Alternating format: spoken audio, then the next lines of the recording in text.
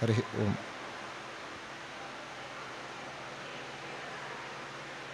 ಇಲ್ಲಿ ಇಂದಿನ ರಾಘವೇಂದ್ರ ಸಪ್ತಾಹದ ಒಂದು ದಿವ್ಯ ಕಾರ್ಯಕ್ರಮದಲ್ಲಿ ಉಪಸ್ಥಿತರಾಗಿರ್ತಕ್ಕಂತಹ ಫಲಿವಾರ ಮಠದ ಶ್ರೀಪಾದಂಗಳವರ ದಿವ್ಯ ಪಾದಪದ್ಮಗಳಲ್ಲಿ ನನ್ನ ಭಕ್ತಿಪೂರ್ವಕ ಸಾಷ್ಟಾಂಗ ಪ್ರಣಾಮಗಳನ್ನು ಅವರ ಅಡಿದಾವರೆಗಳಲ್ಲಿ ಸಲ್ಲಿಸ್ತಾ ಹಾಗೂ ಇಲ್ಲಿ ಇರತಕ್ಕಂಥ ಎಲ್ಲ ವಿದ್ವಾಂಸರ ಹಾಗೂ ಎಲ್ಲ ಸಜ್ಜನ ವೃಂದಕ್ಕೆ ನನ್ನ ಅವರೆಲ್ಲರಿಗೂ ಪ್ರಣಾಮವನ್ನು ಸಲ್ಲಿಸ್ತಾ ಒಂದೆರಡು ಮಾತುಗಳ ಒಂದು ಪುಷ್ ಸಣ್ಣ ಕುಸುಮವನ್ನು ಶ್ರೀಪಾದರ ಅಂತರ್ಯಾಮಿಯಾಗಿರ್ತಕ್ಕಂಥ ಭಗವಂತನಿಗೆ ಒಂದು ಸಲ್ಲಿಸುವ ಪ್ರಯತ್ನವನ್ನು ಮಾಡ್ತೇನೆ. ಯಾವುದೇ ದೋಷಗಳು ಲೋಪದೋಷಗಳು ಇದ್ದಲ್ಲಿ ವಿದ್ವಾಂಸರು ಮತ್ತು ಶ್ರೀಪಾದಂಗಳವರು ಅದನ್ನು ತಿದ್ದಿ ಮಾರ್ಗದರ್ಶನ ಮಾಡಬೇಕು ಅಂತ ಕೇಳಿಕೊಳ್ತಾ ಇವತ್ತಿನ ನನಗೆ ಕೊಟ್ಟಂಥ ವಿಷಯ ಆಲಯ ತತ್ವಚಿಂತನ ಅಂತ. ಏನು ಆಲಯ ತತ್ವಚಿಂತನ ಅಂತಂದರೆ ಅಂತ. ಆಲಯ ಅಂದರೆ ನಮಗೆಲ್ಲ ಗೊತ್ತಾಗುವಂಥ ಕೇಳಿದ ಶಬ್ದ ದೇವಾಲಯ ಅಥವಾ ಮನೆ ಒಟ್ಟು ಆಲಯ ಅಂದ ತಕ್ಷಣ ನಮಗೆ ಬರುವಂಥ ಆ ಒಂದು ಅರ್ಥ, ಮನಸ್ಸಿಗೆ ಹೊಳೆಯುವಂತಹ ಅರ್ಥ, ಅದೊಂದು ಒಂದು ವಾಸಯೋಗ್ಯ ಸ್ಥಳ ಅನ್ನುವ ರೀತಿಯಲ್ಲಿ ನಮ್ಮ ಒಂದು ತ, ಅರ್ಥ ಆಗ್ತದೆ. ಅಂತಹ ಆಲಯದಲ್ಲಿ ನಾವು ಮಾಡಬೇಕಾದಂಥ ಚಿಂತನೆ ಏನು? ಆಲಯ ಅಂದರೆ ಪ್ರಧಾನವಾಗಿ ಇಲ್ಲಿ ದೇವಾಲಯ. ಆ ದೇವಾಲಯದಲ್ಲಿ ಮಾಡಬಹುದಾದಂಥ ತತ್ವಚಿಂತನೆ ಏನು ಅನ್ನೋದ ವಿಷಯವಾಗಿ ಇಲ್ಲಿ ಒಂದು ಚಿಕ್ಕ ವಾಕ್ಕುಸುಮವನ್ನು ಸಮರ್ಪಿಸುವ ಒಂದು ಸೇವಾ ಭಾಗ್ಯವನ್ನು ಕರುಣಿಸಿದ್ದಾರೆ. ಇದರಲ್ಲಿ ನಮಗೆ ಆಲಯ ಅಂತಂದರೆ ಒಂದು ದೇವಸ್ಥಾನ ಮಾಡುವಾಗ ಏನೆಲ್ಲ ನಾವು ಮಾಡಬೇಕು ಅಂತ ನಾವು ನೋಡೋದಾದರೆ ಒಂದು ದೇವಸ್ಥಾನ ಮಾಡಲಿಕ್ಕೆ ಅನೇಕ ವಿಧಿಗಳನ್ನು ಶಾಸ್ತ್ರ ನಮಗೆ ಹೇಳ್ತದೆ. ಅದು ಪ್ರತಿಷ್ಠಾಂಗಭೂತವಾದಂಥ ವಿಷಯಗಳಿರ್ಬೋದು ಅಥವಾ ಆ ಆಲಯ ನಿರ್ಮಾಣ ವಿಷಯಗಳಿರ್ಬೋದು ಅಥವಾ ನಂತರದ ಪೂಜಾ ವಿಧಿಗಳಿರ್ಬೋದು ಅನೇಕ ವಿಷಯಗಳನ್ನು ನಮಗೆ ಶಾಸ್ತ್ರ ಗ್ರಂಥಗಳು ತಿಳಿಸಿಕೊಡ್ತವೆ. ಅದರಲ್ಲಿ ವಿಶೇಷವಾಗಿ ನಮಗೆ ನಮ್ಮ ಸಂಪ್ರದಾಯದಲ್ಲಿ ನಾವು ನೋಡುವಂಥದ್ದು ಬರ್ಬೋದು. ಅವರು ಸ್ವಲ್ಪ ಬಿಟ್ಟು ಬರ್ತೀನಿ ಅಂತ ಹೇಳಿದ್ರು. ಹಾಂ, ಬರ್ಬೋದು. ಅದರಲ್ಲಿ ಭೂಶೋಧನ ವಿಧಿಯಿಂದ ಆರಂಭಿಸಿ ಒಂದು ದೇವಸ್ಥಾನವನ್ನು ನಾವು ಕಟ್ಟಬೇಕಾದ್ರೆ ಎಂತಹ ಜಾಗದಲ್ಲಿ ಕಟ್ಟಬೇಕು, ಆ ಜಾಗ ಹೇಗಿರಬೇಕು, ಹೇಗಿರಬಾರದು ಎನ್ನುವುದನ್ನು ತಿಳಿಸೋದಕ್ಕೇ ಸಾಕಷ್ಟು ವಿಷಯಗಳು ನಮ್ಮ ತಂತ್ರಗ್ರಂಥಗಳಲ್ಲಿ ಮತ್ತು ವಿಶ್ ಬೇರೆ ಬೇರೆ ಆಗಮಶಾಸ್ತ್ರಗಳಲ್ಲಿ ಅದನ್ನು ವಿಸ್ತಾರವಾಗಿ ವರ್ಣನೆ ಮಾಡಿದ್ದಾರೆ. ಆ ವಿಷಯವನ್ನು ನಾವಿಲ್ಲಿ ಇವತ್ತು ನೋಡ್ತಾ ಇಲ್ಲ. ನಿರ್ಮಾಣ ವಿಧಿ ಆಲಯವನ್ನು ಹೇಗೆ ಕಟ್ಟಬೇಕು, ಅದರ ಬಾಗಿಲು ಹೇಗಿರಬೇಕು, ಕಟ್ಟಡ ಹೇಗಿರಬೇಕು, ಮತ್ತು ಅದರ ಎತ್ತರ, ಅಂಗುಲಗಳು ಎಷ್ಟಿಡಬೇಕು, ಇವುಗಳನ್ನೆಲ್ಲ ಶಿಲ್ಪಶಾಸ್ತ್ರ ವಿಶಿಷ್ಟವಾಗಿ ವರ್ಣನೆ ಮಾಡ್ತದೆ. ಅವನ್ನ, ಅದನ್ನು ಕೂಡ ನಾವಿಲ್ಲಿ ಇವತ್ತು ನೋಡ್ತಾ ಇಲ್ಲ. ಪ್ರತಿಷ್ಠಾ ವಿಧಿ, ಇನ್ನು ಆಲಯವನ್ನು ಎಲ್ಲ ರೀತಿಯಲ್ಲಿ ನಾವು ಮಾಡಿದ ನಂತರ ಆಲಯವನ್ನು, ಆಲಯದಲ್ಲಿ ಒಂದು ಬಿಂಬ ಯಾವ ಮೂರ್ತಿಯನ್ನು ನಾವು ಆರಾಧನೆ ಮಾಡ್ತೇವೆ, ಆ ಆರಾಧನಾ ಮೂರ್ತಿಯ ಬಿಂಬವನ್ನು ಪ್ರತಿಷ್ಠಾಪನೆ ಮಾಡುವುದಕ್ಕೆ ವಿಶಿಷ್ಟವಾದ ವಿಧಿಯನ್ನು ತಂತ್ರಸಾರದಲ್ಲಿ ಶ್ರೀಮದ್ ಆನಂದತೀರ್ಥ ಭಗವತ್ಪಾದಾಚಾರ್ಯರು ವಿಸ್ತಾರವಾಗಿ ತಿಳಿಸಿಕೊಟ್ಟಿದ್ದಾರೆ. ಆ ವಿಧಿಯ ಅಂಶವನ್ನು ನಾವಿಲ್ಲಿ ನೋಡ್ತಾ ಇಲ್ಲ. ಇವತ್ತಿನ ನಮ್ಮ ಈ ಚಿಕ್ಕ ಕಾರ್ಯಕ್ರಮದ ಉದ್ದೇಶ ಆ ಪ್ರತಿಷ್ಠಿತವಾದಂತಹ ದೇವಸ್ಥಾನಕ್ಕೆ ನಾವು ಹೋದಾಗ ಅಲ್ಲಿ ನಾವು ಮಾಡಬೇಕಾದಂಥ ತತ್ವಚಿಂತನದ ವಿಧಿ ಏನು ಅಂತ. ಅದರ ಮುಂದೆ ಬರುವಂಥ ಪೂಜಾ ವಿಧಿ ಇತ್ಯಾದಿಗಳು ಸಾಮಾನ್ಯ ಅಲ್ಲಿ ಯಾರು ಅರ್ಚಕರಿರ್ತಾರೆ, ಅವರು ಅದನ್ನು ನೆರವೇರಿಸ್ಕೊಂಡು ಹೋಗ್ತಿರ್ತಾರೆ. ಅಲ್ಲಿ ಆಲಯದ ಭೂಶೋಧನ ವಿಧಿಯಾಗಲಿ, ನಿರ್ಮಾಣದ ವಿಧಿಯಾಗಲಿ, ಪ್ರತಿಷ್ಠಾ ವಿಧಿಯಾಗಲಿ, ಇದು ಒಬ್ಬ ದೇವಸ್ಥಾನಕ್ಕೆ ಹೋಗುವಂತಹ ಪ್ರತಿಯೊಬ್ಬ ಭಕ್ತನು ಮಾಡಲಿಕ್ಕೆ ಆಗದೇ ಇರುವಂತಹ ಕೆಲಸ. ಇದು ಒಂದು ಪ್ರತಿಷ್ಠಾ ವಿಧಿಯಾಗಲಿ ಅಥವಾ ಅದನ್ನು ಸ್ಥಾಪನಾ ವಿಧಿಯಾಗಲಿ ಇದೆಲ್ಲ ಒಂದು ಭಾರೀ ಪುಣ್ಯದ ಕೆಲಸವಾದರೂ ಯಾರಾದರೂ ನೆರವೇರಿಸಿರ್ತಾರೆ. ಆದರೆ ನಾವು ಹೋಗುವಂಥದ್ದು ದೇವಸ್ಥಾನಕ್ಕೆ ಹೋಗುವಾಗ ನಮ್ಮ ಮನಸ್ಸಿನಲ್ಲಿ ಯಾವ ನಾವು ದೇವಸ್ಥಾನಕ್ಕೆ ಹೋಗಿರ್ತೇವೆ, ಆ ಹೋದಾಗ ನಮ್ಮ ಮನಸ್ಸಿನಲ್ಲಿ ನಾವು ಯಾವ ಚಿಂತನೆಯನ್ನು ಇಟ್ಟುಕೊಂಡು ಹೋಗಬೇಕು. ದೇವಸ್ಥಾನದಲ್ಲಿ ನಾವು ಹೋದಾಗ ಸುಮ್ಮನೆ ನೇರವಾಗಿ ಹೋಗಿ ಅಲ್ಲೊಂದೇನೋ ಹಣ್ಣು ಕಾಯಿ ಮಾಡಿಸ್ಕೊಂಡು ನಮಸ್ಕಾರ ಮಾಡಿ ಹಾ ಬಂದರೆ ನಮ್ಮ ದೇವಸ್ಥಾನಕ್ಕೆ ಹೋದ ಕೆಲಸ ಮುಗಿಯಿತಾ ಅಥವಾ ದೇವಸ್ಥಾನಕ್ಕೆ ನಾವು ಹೋಗುವ ನಮ್ಮ ವಿಧಿ ಹೇಗಿರಬೇಕು, ಅದರಲ್ಲಿ ನಾವು ಮಾಡಬೇಕಾದಂಥ ಚಿಂತನೆ ಏನು? ಆ ದೇವಸ್ಥಾನದ ಅವಯವಗಳನ್ನು ನಾವು ಯಾವ ರೀತಿ ತಿಳ್ಕೊಳ್ಬೇಕು?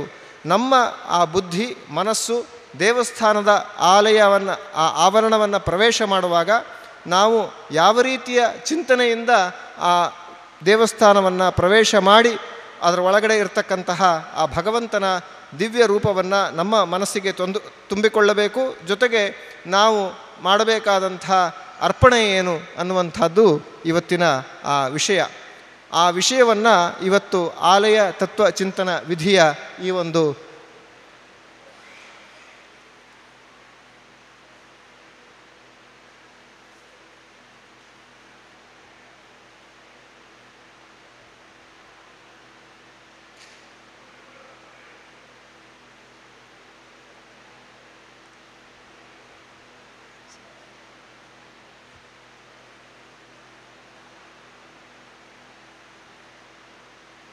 ಇಂದಿನ ದಿವಸ ಆ ಆಲಯ ತತ್ವದ ಚಿಂತನೆಯನ್ನು ನಾವು ಈ ಒಂದು ಕಾಲಘಟ್ಟದಲ್ಲಿ ಮಾಡೋಣ. ಆಲಯ ಅಂತಂದರೆ ಇದಕ್ಕೆ ಅನೇಕ ವಿಧವಾದಂಥ ಹೆಸರುಗಳಿದೆ. ಆಲಯವನ್ನು ಏನಂತ ಹೇಳ್ತಾರೆ ಅಂದರೆ ಬೇರೆ ಬೇರೆ ಹೆಸರುಗಳಿಂದ ನಾವು ಆಲಯವನ್ನು ನೋಡ್ತೇವೆ. ಪ್ರಾಸಾದಂ ಸದನಂ ಪದ್ಮ ಹೆರ್ಮಧಾಮ ನಿಕೇತನಂ ಮಂದಿರಂ ಭವನಂ ವಾಸಃ ಗೇಹದಿವ್ಯ ವಿಮಾನಕಂ ಆಶ್ರಯಂ ಸದ್ಮಕಂ ಚೈವ ಆಧಾರಂ ಚ ಕ್ರಮೇಣತು ಅಂತ ಪ್ರಾಸಾದ, ಸದನ, ಪದ್ಮ ಹೆರ್ಮ ಧಾಮ, ನಿಕೇತನ, ಮಂದಿರ, ಭವನ, ವಾಸಗೆ, ಗೇಹ, ದಿವ್ಯ ವಿಮಾನಕ, ದಿವ್ಯ ವಿಮಾನ, ಆಶ್ರಯ, ಸದ್ಮ, ಆಧಾರ ಇತ್ಯಾದಿಗಳ ಹೆಸರುಗಳಿಂದ ಈ ಒಂದು ಆಲಯ ಅಂತಕ್ಕಂಥದ್ದನ್ನು ಶಾಸ್ತ್ರಗಳು ಬೇರೆ ಬೇರೆ ಹೆಸರುಗಳಿಂದ ನ ಅದು ನಮ್ಮನ್ನು ನಮಗೆ ಅದನ್ನು ತಿಳಿಸ್ಕೊಡ್ತದೆ. ಈ ಆಲಯದಲ್ಲಿ ಅಥವಾ ಈ ಶಬ್ದಗಳು ಎಲ್ಲೆಲ್ಲಿ ಪ್ರಯೋಗ ಆಗ್ತದೆ? ಆ ಪ್ರಯೋಗ ಆದಾಗ ಅದೆಲ್ಲವೂ ಕೂಡ ಆ ಭಗವಂತನ ಆಲಯಕ್ಕೆ ಸಂಬಂಧಪಟ್ಟಂಥ ವಿಷಯ ಅಂತ ನಾವು ತಿಳ್ಕೊಂಡು ಆ ಆಲಯ ನಿರ್ಮಾಣದಲ್ಲಿ ನಾವು ತಿಳ್ಕೊಳ್ಬೇಕಾದಂಥ ಸಾಮಾನ್ಯ ಅಂಶಗಳೇನು ಅಂತಕ್ಕಂಥದ್ದನ್ನು ನಾವು ನೋಡೋಣ. ಈ ವಿವಿಧ ತಂತ್ರಗ್ರಂಥಗಳು ನಮಗೆ ತಿಳಿಸಿಕೊಡುವಂತಹ ಆ ಒಂದು ಆಲಯದಲ್ಲಿ ಉಪಾಸನೆ ಏನಿದೆ, ಆ ಉಪಾಸನೆಗೆ ಬೇಕಾದಂತಹ ಸಾಮಾನ್ಯ ಅಂಶಗಳು ಏನಂತ ಹೇಳಿದ್ರೆ, ಒಂದು ಪ್ರಧಾನವಾಗಿ ಗುರು, ಮಂತ್ರ ಮಂಡಲ, ಅಧಿಷ್ಠಾನ, ತಂತ್ರವಿಧಿ ಮತ್ತು ಧ್ಯೇಯ ರೂಪ ಇವುಗಳೆಲ್ಲವೂ ಇದ್ದಾಗ ಆ ಸಿದ್ಧಿಗೆ ಕಾರಣವಾಗ್ತದೆ. ಇವಿಷ್ಟು ಎಲ್ಲಿ ಒಗ್ಗೂಡ್ತದೆ, ಅಲ್ಲಿ ಸಾಧನೆ ನೆರವೇರಿ ಸಿದ್ಧಿಯು ಪ್ರಾಪ್ತ ಆಗ್ತದೆ ಇದರಲ್ಲಿ ನಮಗೆ ಅನೇಕ ವಿಧವಾದ ತಂತ್ರಗಳಿದೆ. ನಮ್ಮ ಭಾರತದಲ್ಲಿ ಭಾರತ ಅನೇಕ ದರ್ಶನಗಳಿಗೆ ಆಗರವಾಗಿರ್ತಕ್ಕಂಥ ಒಂದು ಬೃಹತ್ತಾದಂಥ ಭೂಪ್ರದೇಶ. ಇಲ್ಲಿ ವೈಷ್ಣವಾಗಮ ಇದೆ, ಶೈವಾಗಮ ಇದೆ ಆ ರೀತಿ ಬೇರೆ ಬೇರೆ ರೀತಿಯ ತಂತ್ರಾಗಮಗಳು ಹುಟ್ಟಿದಂತಹ ದೇಶ ಇಲ್ಲಿ. ಅದರಲ್ಲಿ ಕೆಲವು ತಂತ್ರಗಳು ಸಾತ್ವಿಕ ತಂತ್ರಗಳಾದರೆ ಕೆಲವು ಕೆಲವು ತಾಮಸ ತಂತ್ರಗಳು. ತಾಮಸ ತಂತ್ರಗಳು ಅಂತ ಹೇಳಿದ್ರೆ ಅವು ಪಂಚ ಮಕಾರಗಳಿಂದ ಸಾಧನೆಯನ್ನು ಮಾಡಲಿಕ್ಕೆ ಹೊರಟಂಥದ್ದಾದರೆ ಸಾತ್ವಿಕ ತಂತ್ರಗಳು ಶುದ್ಧವಾದ, ಸಾತ್ವಿಕವಾದ ಭಗವಂತನನ್ನು, ಮೋಕ್ಷದ ಮ, ಭಗವಂತನನ್ನು ನಮ್ಮ ಮೋಕ್ಷದ ಮಾರ್ಗದ ಕಡೆಗೆ, ಭಗವಂತನ ಕಡೆಗೆ ಕರೆದುಕೊಂಡು ಹೋಗುವಂತಹ ಒಂದು ವಿಶಿಷ್ಟವಾದ ತಂತ್ರ, ಸಾತ್ವಿಕ ತಂತ್ರವಾಗಿದೆ. ಅಂಥದ್ದಲ್ಲಿ ಪಂಚ ಮಕಾರಗಳು ಇರತಕ್ಕಂತಹ ಆ ತಂತ್ರಗಳನ್ನು ನಮ್ಮ ಭಾರತದಲ್ಲಿ ಎಂದೋ ತಿರಸ್ಕೃತಗೊಂಡು ಸಾ, ಶುದ್ಧ ತಾತ್ವಿಕ, ಸಾತ್ವಿಕ ತಂತ್ರವನ್ನು ಅನುಸರಿಸಿದಂತಹ ಆ ವಿಧಾನ ಮತ್ತು ಆ ಚಿಂತನೆ ಏನಿದೆ, ಆ ಚಿಂತನೆ ನಮ್ಮ ದೇಶದ ಒಂದು ಪ್ರಧಾನ ಚಿಂತನೆ. ಹಾಗಾಗಿ ಆ ಚಿಂತನೆಯನ್ನು ತೋರಿಸ್ಕೊಟ್ಟಂಥ ಕೆಲವೇ ಕೆಲವು ತಂತ್ರಗ್ರಂಥಗಳಲ್ಲಿ ನಮ್ಮ ಶ್ರೀಮದಾಚಾರ್ಯರು ಕೊಟ್ಟಂತಹ ತಂತ್ರಶಾಸ್ತ್ರ ಒಂದು. ನಾವು ಅನೇಕ ತಂತ್ರಶಾಸ್ತ್ರ ಗ್ರಂಥಗಳನ್ನು ಎದುರುಗಡೆ ಇಟ್ಟುಕೊಂಡು ನೋಡಿದಾಗ ಆ ಅವರುಗಳಲ್ಲಿ ಹೇಳುವಂತಹ ತಂತ್ರಗಳಿಗೂ ಶ್ರೀಮದಾಚಾರ್ಯರು ಕೊಡ್ತಾ ಇರತಕ್ಕಂಥ ತಂತ್ರಗಳಿಗೂ ಕೂಡ ನಾವು ಅದರಲ್ಲಿ ವಿಭಾಗವನ್ನು ಮಾಡಿಕೊಂಡು ನೋಡಿದ್ರೆ ತುಂಬ ಅದ್ಭುತವಾದಂತಹ ಮೋಕ್ಷೋಪಯೋಗಿಯಾಗಿರ್ತಕ್ಕಂಥ ಆ ತಂತ್ರವನ್ನು ಶ್ರೀಮದಾಚಾರ್ಯರು ನಮಗೆ ತಿಳಿಸಿಕೊಟ್ಟಿದ್ದಾರೆ. ಅಂತಹ ತಂತ್ರಗಳಿಂದ ನಿರ್ಮ, ನಿರ್ಮಾಣವಾಗಿರ್ತಕ್ಕಂಥ ಆ ಒಂದು ದೇವಸ್ಥಾನ ಅಂತಂದರೆ ಆ ದೇವಸ್ಥಾನದಲ್ಲಿ ಏನೆಲ್ಲ ಅಡಕವಾಗಿದೆ ಅಂತ ನಾವು ನೋಡೋದಾದರೆ ಅಲ್ಲಿ ಶಿಲ್ಪಗಳಿಗೆ ಅವಕಾಶ ಇದೆ. ಅಂದರೆ ಒಂದು ದೇವಸ್ಥಾನ ಆಗಿನ ಕಾಲದಲ್ಲಿ ಒಂದು ನಿರ್ಮಾಣ ಆಯಿತು ಅಂತ ಆದರೆ ಒಂದು ಭೂಪ್ರದೇಶದಲ್ಲಿ ಒಂದು ಜನ ವಸತಿಯ ಪ್ರದೇಶದಲ್ಲಿ ಅದು ನಿರ್ಮಾಣ ಆಯಿತು ಅಂತ ಆದರೆ ಅದೆಷ್ಟೆಲ್ಲ ಸಂಘಟನೆಯನ್ನು ಮಾಡ್ತಾ ಇತ್ತು ಅನ್ನೋದನ್ನು ನಾವು ನೋಡಬಹುದು. ಅದು ಸಾಹಿತ್ಯ ಸಂಗೀತಕ್ಕೆ ಮತ್ತು ಸಾಮಾಜಿಕ ಕಾರ್ಯಗಳಿಗೆ, ಮತ್ತು ಸಾಮಾಜಿಕ ಆರ್ಥಿಕ ನಿರ್ವಹಣೆಗೆ, ಪಾಠ ಪ್ರವಚನಗಳಿಗೆ, ಆಹಾರ ವಿತರಣೆಗೆ ಎಲ್ಲದಕ್ಕೂ ಕೂಡ ಅದೊಂದು ದೇವಸ್ಥಾನಗಳು ಒಂದು ದೊಡ್ಡ ಶಕ್ತಿಯಾಗಿ ನಮ್ಮಲ್ಲಿ ಹಿಂದೆ ಹೊರಹೊಮ್ಮುತ್ತಾ ಇತ್ತು. ಮತ್ತು ಆ ಆಲಯಕ್ಕೆ ಒಂದು ನಿರ್ಮಾಣ ಮಾಡಬೇಕು ಅಂತಾದರೆ ಎಷ್ಟೆಲ್ಲ ತಜ್ಞರು ಬೇಕಾಗ್ತಾ ಇತ್ತು ಮತ್ತು ಆ ಕಾಲದಲ್ಲಿ ಎಷ್ಟೆಲ್ಲ ಆ, ಒಂದು ಶಾಸ್ತ್ರಗಳನ್ನು ತಿಳ್ಕೊಂಡಿರಬೇಕಾಗಿತ್ತು ಅಂತ ಹೇಳಿದ್ರೆ ಅಲ್ಲಿ ಭೂಗರ್ಭಶಾಸ್ತ್ರದ ತಿಳುವಳಿಕೆ ಇರೋರು ಬೇಕಾಗಿತ್ತು. ಲೋಹಶಾಸ್ತ್ರ, ಯೋಗಶಾಸ್ತ್ರ, ನಾಟ್ಯ, ವೇದ, ಇತಿಹಾಸ, ಪುರಾಣ, ಧರ್ಮ ಸಂಪ್ರದಾಯ, ಜ್ಯೋತಿಷ್ಯ ಖಗೋಲ ಗಣಿತಶಾಸ್ತ್ರ ಹೀಗೆ ಇವೆಲ್ಲಗಳ ಒಂದು ಸಂಗಮ, ಒಂದು ಆಲಯ ನಿರ್ಮಾಣ ಅಂತಕ್ಕಂಥದ್ದು ನಾವು ನೋಡ್ತೇವೆ. ಹಾಗಾಗಿ ಈ ಆಲಯದಲ್ಲಿ ನಾವು ಎರಡು ವಿಧವಾಗಿರ್ತಕ್ಕಂಥ ಅಂಶಗಳನ್ನು ನಾವು ನೋಡ್ತೇವೆ. ಒಂದು ವಾಸ್ತುಶಿಲ್ಪ, ಮತ್ತೊಂದು ಮೂರ್ತಿಶಿಲ್ಪ. ವಾಸ್ತುಶಿಲ್ಪ ಅಂತಂದರೆ ಹೊರ ಆವರಣದಲ್ಲಿ ನಾವು ನೋಡ್ತಕ್ಕಂಥ ವಿನ್ಯಾಸ ಮತ್ತು ದೇವಸ್ಥಾನದ ರೂಪ ಕಲ್ಪನೆಯಾದರೆ ಅದರ ಒಳಭಾಗದಲ್ಲಿ ಇರತಕ್ಕಂಥ ಧ್ಯೇಯಮೂರ್ತಿ ಮೂರ್ತಿ ಇವುಗಳನ್ನು ನಾವು ನೋಡುವಂಥದ್ದು ಮೂರ್ತಿ ಶಿಲ್ಪದಲ್ಲಿ ಮೊದಲನೆಯದಾಗಿ ಸ್ಥೂಲವಾಗಿ ಸ್ವಲ್ಪ ವಾಸ್ತುಶಿಲ್ಪದ ಕಡೆ ಗಮನ ಕೊಡೋಣ. ಭಾರತದಲ್ಲಿ ವಾಸ್ತುಶಿಲ್ಪದಲ್ಲಿ ಅನೇಕ ಒಂದು ಶಿಲ್ಪ ವಿಧಾನಗಳಿದೆ. ಅದರಲ್ಲಿ ಇಲ್ಲಿ ಪ್ರಮುಖವಾದ್ದನ್ನು ನಾವಿಲ್ಲಿ ನೋಡ್ತಾ ಇದ್ದೇವೆ. ಔತ್ತರೇಯ ಅಂದರೆ ಉತ್ತರ ಭಾರತದ ಶಿಲ್ಪಗಳಲ್ಲಿ ನಮಗೆ ನಾಗರ ಮತ್ತು ಕಳಿಂಗ ಇವು ತುಂಬ ಪ್ರಸಿದ್ಧವಾದಂತಹ ವಾಸ್ತುಶಿಲ್ಪಗಳಾದರೆ ದಾಕ್ಷಿಣಾತ್ಯ ವಿಧಿಯಲ್ಲಿ ಚೋಳ, ಚಾಲುಕ್ಯ, ಪಲ್ಲವ, ಹೊಯ್ಸಳ, ಕದಂಬ, ಗಂಗಾ, ರಾಷ್ಟ್ರಕೂಟ, ವಿಜಯನಗರ ಮತ್ತು ಕೇರಳದ ಚೇರ, ಪಾಂಡ್ಯ ಇತ್ಯಾದಿಗಳು ಪ್ರಸಿದ್ಧವಾದಂತಹ ಒಂದು ವಾಸ್ತುಶಿಲ್ಪ ವಿಧಾನಗಳು. ಇದಲ್ಲದೆ ಗುಜರಾತಿನ ವೇಸರ ಮತ್ತು ಮಿಶ್ರಣ ಇವುಗಳಲ್ಲೇ ಅನೇಕವಾದ ಅನೇಕ ಶಿಲ್ಪಗಳ ಮಿಶ್ರಣ ಇರತಕ್ಕಂಥದ್ದು ಕೂಡ ಇವೆ. ಇದರ ಈ- ಈ ಸಿಖ್ ಮತ್ತು ಇಸ್ಲಾಮಿಕ್ ಆ, ವಾಸ್ತು ವಿಧಾನಗಳು ಕೂಡ ನಮ್ಮ ದೇಶದಲ್ಲಿದೆ. ಅದರಲ್ಲಿ ಪ್ರಮುಖವಾಗಿ ನಮ್ಮ ಕರ್ನಾಟಕದಲ್ಲಿ ನಾವು ನೋಡುವಂತಹದ್ದು ಈ ವಿಜಯನಗರ ಮತ್ತು ತುಂಬ ಇದರಲ್ಲಿ ಕರ್ನಾಟಕದ ಅನೇಕ ವಾಸ್ತುಶಿಲ್ಪ ವಿಧಾನಗಳನ್ನು ನಾವು ನೋಡ್ತೇವೆ. ಅದರಲ್ಲಿ ಕರ್ನಾಟಕದ ಕೊಡುಗೆ ತುಂಬ ಇದೆ. ಅದರಲ್ಲಿ ಚಾಲುಕ್ಯ, ಪಲ್ಲವ, ಹೊಯ್ಸಳ, ಕದಂಬ, ರಾಷ್ಟ್ರಕೂಟ, ವಿಜಯನಗರ ಇವಿಷ್ಟು ಮತ್ತು ಚೋಳ ಇವಿಷ್ಟು ಕೂಡ ಕರ್ನಾಟಕದಲ್ಲಿ ನೋಡಲಿಕ್ಕೆ ಸಿಗು ಸಿಗುವಂತಹ ಶಿಲ್ಪ ವಿಧಾನಗಳನ್ನು ನಾವು ಅಲ್ಲಲ್ಲಿ ನಾವು ನೋಡಬಹುದಾಗಿದೆ. ಇನ್ನು ಆ ವಾಸ್ತು ವಿನ್ಯಾಸ ಹೇಗಿದೆ, ಹೇಗಿರಬೇಕು ಅಂತ ನೋಡೋದಾದರೆ ನಮ್ಮ ದೇಶದ ಉದ್ದಗಲಕ್ಕೂ ನೋಡೋದಾದರೆ ಬೇರೆ ಬೇರೆ ರೀತಿಯ ವಾಸ್ತು ಮಂಡಲಗಳ ಅಥವಾ ವಾಸ್ತು ವಿನ್ಯಾಸವನ್ನು ನಾವು ನೋಡ್ತೇವೆ. ಅದರಲ್ಲಿ ಚತುರಸ್ರ, ಆಯತಾಸ್ರ, ಆಯ ದೀರ್ಘ ಚತುರಸ್ರ ವೃತ್ತ, ದೀರ್ಘವೃತ್ತ ಹಸ್ತಿಪೃಷ್ಠ ಷಡಸ್ರ ಮತ್ತು ಅಷ್ಟಾಸ್ರ ಅಂತ ಬೇರೆ ಬೇರೆ ರೀತಿಯ ಶೇಪ್ಗಳು ಆಕಾರಗಳಲ್ಲಿ ದೇವಸ್ಥಾನವನ್ನು ನಿರ್ಮಾಣ ಮಾಡುವಂಥ ಒಂದು ಪದ್ಧತಿ ನಮ್ಮಲ್ಲಿದೆ. ಅದು ಯಾಕೆ ಅಂತಕ್ಕಂಥದ್ದನ್ನು ನಾವು ಮುಂದೆ ನೋಡೋಣ. ಆದರೆ ಆ ಶಾಸ್ತ್ರಗಳು ನಮಗೆ ವಿಶೇಷವಾಗಿ ಬ್ರಾಹ್ಮೀಯ ಚಿತ್ರಕರ್ಮಶಾಸ್ತ್ರ ಅಂತ ಅಂತಕ್ಕಂಥ ಪುಸ್ತಕ, ಜೊತೆಗೆ ಕಾಶ್ಯಪ ಶಿಲ್ಪಶಾಸ್ತ್ರ ಮತ್ತು ವೈಖಾನಸ ಇತ್ಯಾದಿ ಸಿಂ, ಸಂಹಿತಾಗಳಲ್ಲಿ ಸಿಗುವಂತಹ ಆಧಾರದಲ್ಲಿ ನಾವು ನೋಡೋದಾದರೆ ಆಲಯ ವಿನ್ಯಾಸ ಶೈಲಿ, ಯಾ, ಬೇರೆ ಬೇರೆ ಶೈಲಿಗಳ ಹೆಸರುಗಳನ್ನು ನಾವು ಇದುವರೆಗೆ ನಾವು ನೋಡಿದ್ದೇವೆ ನೋಡಿದ್ದೇವೆ.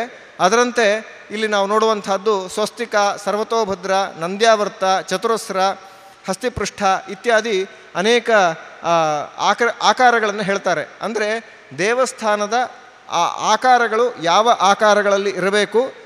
ಈ ರೀತಿ ಆಕಾರದಲ್ಲಿ ಇದ್ದರೆ ಅಲ್ಲಿ ಯಾವ ಭಗವಂತನ ರೂಪವನ್ನು ಪ್ರತಿಷ್ಠಾಪನೆ ಮಾಡಬೇಕು ಅಂತ ಅಂತಕ್ಕಂಥದ್ದನ್ನು ಆ ಗ್ರಂಥ ನಮಗೆ ವಿಶೇಷವಾಗಿ ತಿಳಿಸ್ಕೊಡ್ತದೆ. ಅದರಲ್ಲಿ ನಮಗೆ ಒಂದು ಇಲ್ಲಿ ವಿಶಿಷ್ಟವಾದ ಸಂಗತಿಯನ್ನು ನೋಡಬೇಕು.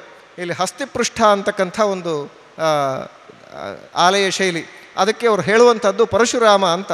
ನಾವು ಉಡುಪಿಯಲ್ಲಿ ನಾವು ಇದನ್ನು ನೋಡ್ತಾ ಇದ್ದೇವೆ. ಅನಂತೇಶ್ವರ ದೇವಸ್ಥಾನದ ಆ ಒಂದು ಪ್ರದಕ್ಷಿಣಾ ಪಥ ಏನಿದೆ, ಅದು ಗಜಪೃಷ್ಠಾಕೃತಿಯಲ್ಲಿರ್ತಕ್ಕಂಥದ್ದು. ಹಾಗಾಗಿ ಪ್ರಾಚೀನ ಗ್ರಂಥಗಳಲ್ಲೂ ಕೂಡ ಹಸ್ತಿಪೃಷ್ಠಾಕೃತಿ ಇದ್- ಅಂತಾದರೆ ಅಲ್ಲಿ ಪರಶುರಾಮ ದೇವರ ಮತ್ತು ವಿಶಿಷ್ಟವಾದ ಸನ್ನಿಧಾನಕ್ಕೆ ಮತ್ತು ಪೂಜೆಗೆ ವೈಷ್ಣವ ಗ್ರಂಥಗಳು ಅದನ್ನು ಆ ಹಸ್ತಿಪೃಷ್ಠಾಕೃತಿಯನ್ನು ನಿರ್ದೇಶ ಮಾಡ್ತಾ ಇದೆ ಅಂತಕ್ಕಂಥದ್ದನ್ನು ಇಲ್ಲಿ ನಾವು ತಿಳ್ಕೊಂಡ್ರೆ ಆ ಪರಶುರಾಮ ದೇವರ ಒಂದು ಸನ್ನಿಧಾನ ಅಲ್ಲಿ ಉಡುಪಿಯಲ್ಲಿ ಹೇಗಿದೆ ಅಂತಕ್ಕಂಥದ್ದನ್ನು ಚಿಂತನೆ ಮಾಡಲಿಕ್ಕೆ ನಮಗೆ ಅನುಕೂಲ ಆಗುತ್ತೆ. ಎಷ್ಟೋ ಜನಕ್ಕೆ ಆ ವಿಷಯ ಗೊತ್ತಿರೋದಿಲ್ಲ. ಅದರಂತೆ ಆ ಶಿಲ್ಪಶಾಸ್ತ್ರದ ಮತ್ತೊಂದು ವಿಶಿಷ್ಟವಾದ ಪ್ರತಿಮಾ ಚಿಂತನೆ ಏನು ಅಂತ ಹೇಳಿದ್ರೆ, ಎಷ್ಟು ಬಗೆಯ ಪ್ರತಿಮೆಗಳು ನಾವು ನೋಡಬಹುದು ಅಂತ ಹೇಳಿದ್ರೆ, ದೇವಸ್ಥಾನಗಳಲ್ಲಿ ಒಂದು ಭಗವಂತನ ರೂಪಗಳನ್ನು ಯಾರಾದರೂ ಪ್ರತಿಷ್ಠಾಪನೆ ಮಾಡಿರಬೇಕು, ಇಲ್ಲ ಅದು ಅನಾದಿ ಕಾಲದಿಂದ ಇರುವಂಥದ್ದು ಹಾಗಾಗಿ ಅವುಗಳ ವಿಭಾಗ ಏನು ಅಂತ ನಾವು ನೋಡೋದಾದರೆ,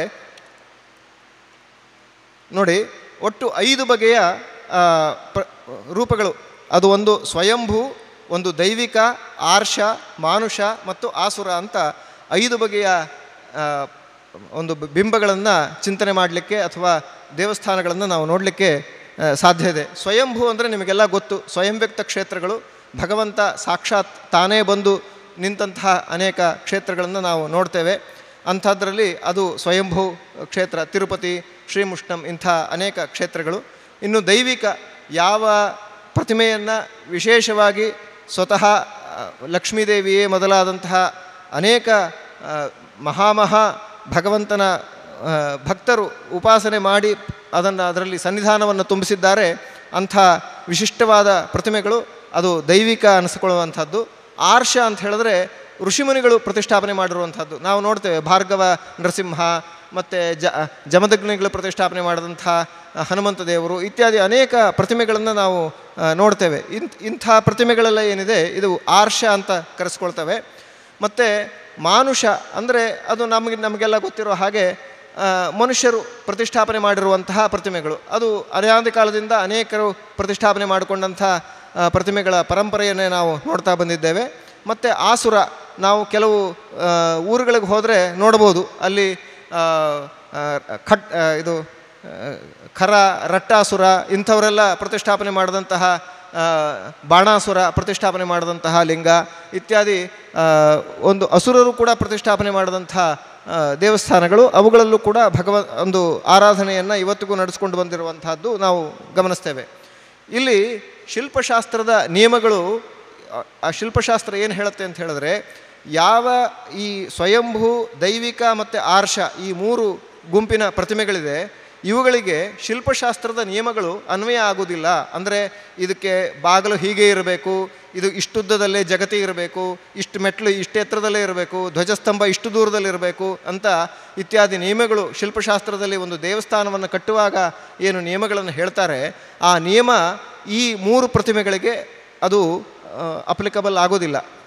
ಯಾವುದಕ್ಕೆ ಅಪ್ ಅಪ್ಲೈ ಆಗುತ್ತದೆ ಅಂತ ಹೇಳಿದ್ರೆ, ಯಾವುದನ್ನು ಮನುಷ್ಯ ತಾನು ನಿರ್ಮಾಣ ಮಾಡ್ತಾನೆ ಮತ್ತು ಯಾವ ಫಲಕ್ಕಾಗಿ ಒಂದು ಅಂದರೆ ಯಾವುದೇ ಒಂದು ಪ್ರ, ದೇವಸ್ಥಾನವನ್ನು ಮಾಡಬೇಕಾದ್ರೆ ಅದೊಂದು ವಿಶಿಷ್ಟವಾದ ಉದ್ದೇಶ ಇಟ್ಟುಕೊಂಡು ದೇವಸ್ಥಾನವನ್ನು ಮಾಡುವಂಥದ್ದು ನಾವು, ನಮಗೆಲ್ಲ ಗೊತ್ತಿರುವಂಥ ವಿಷಯ.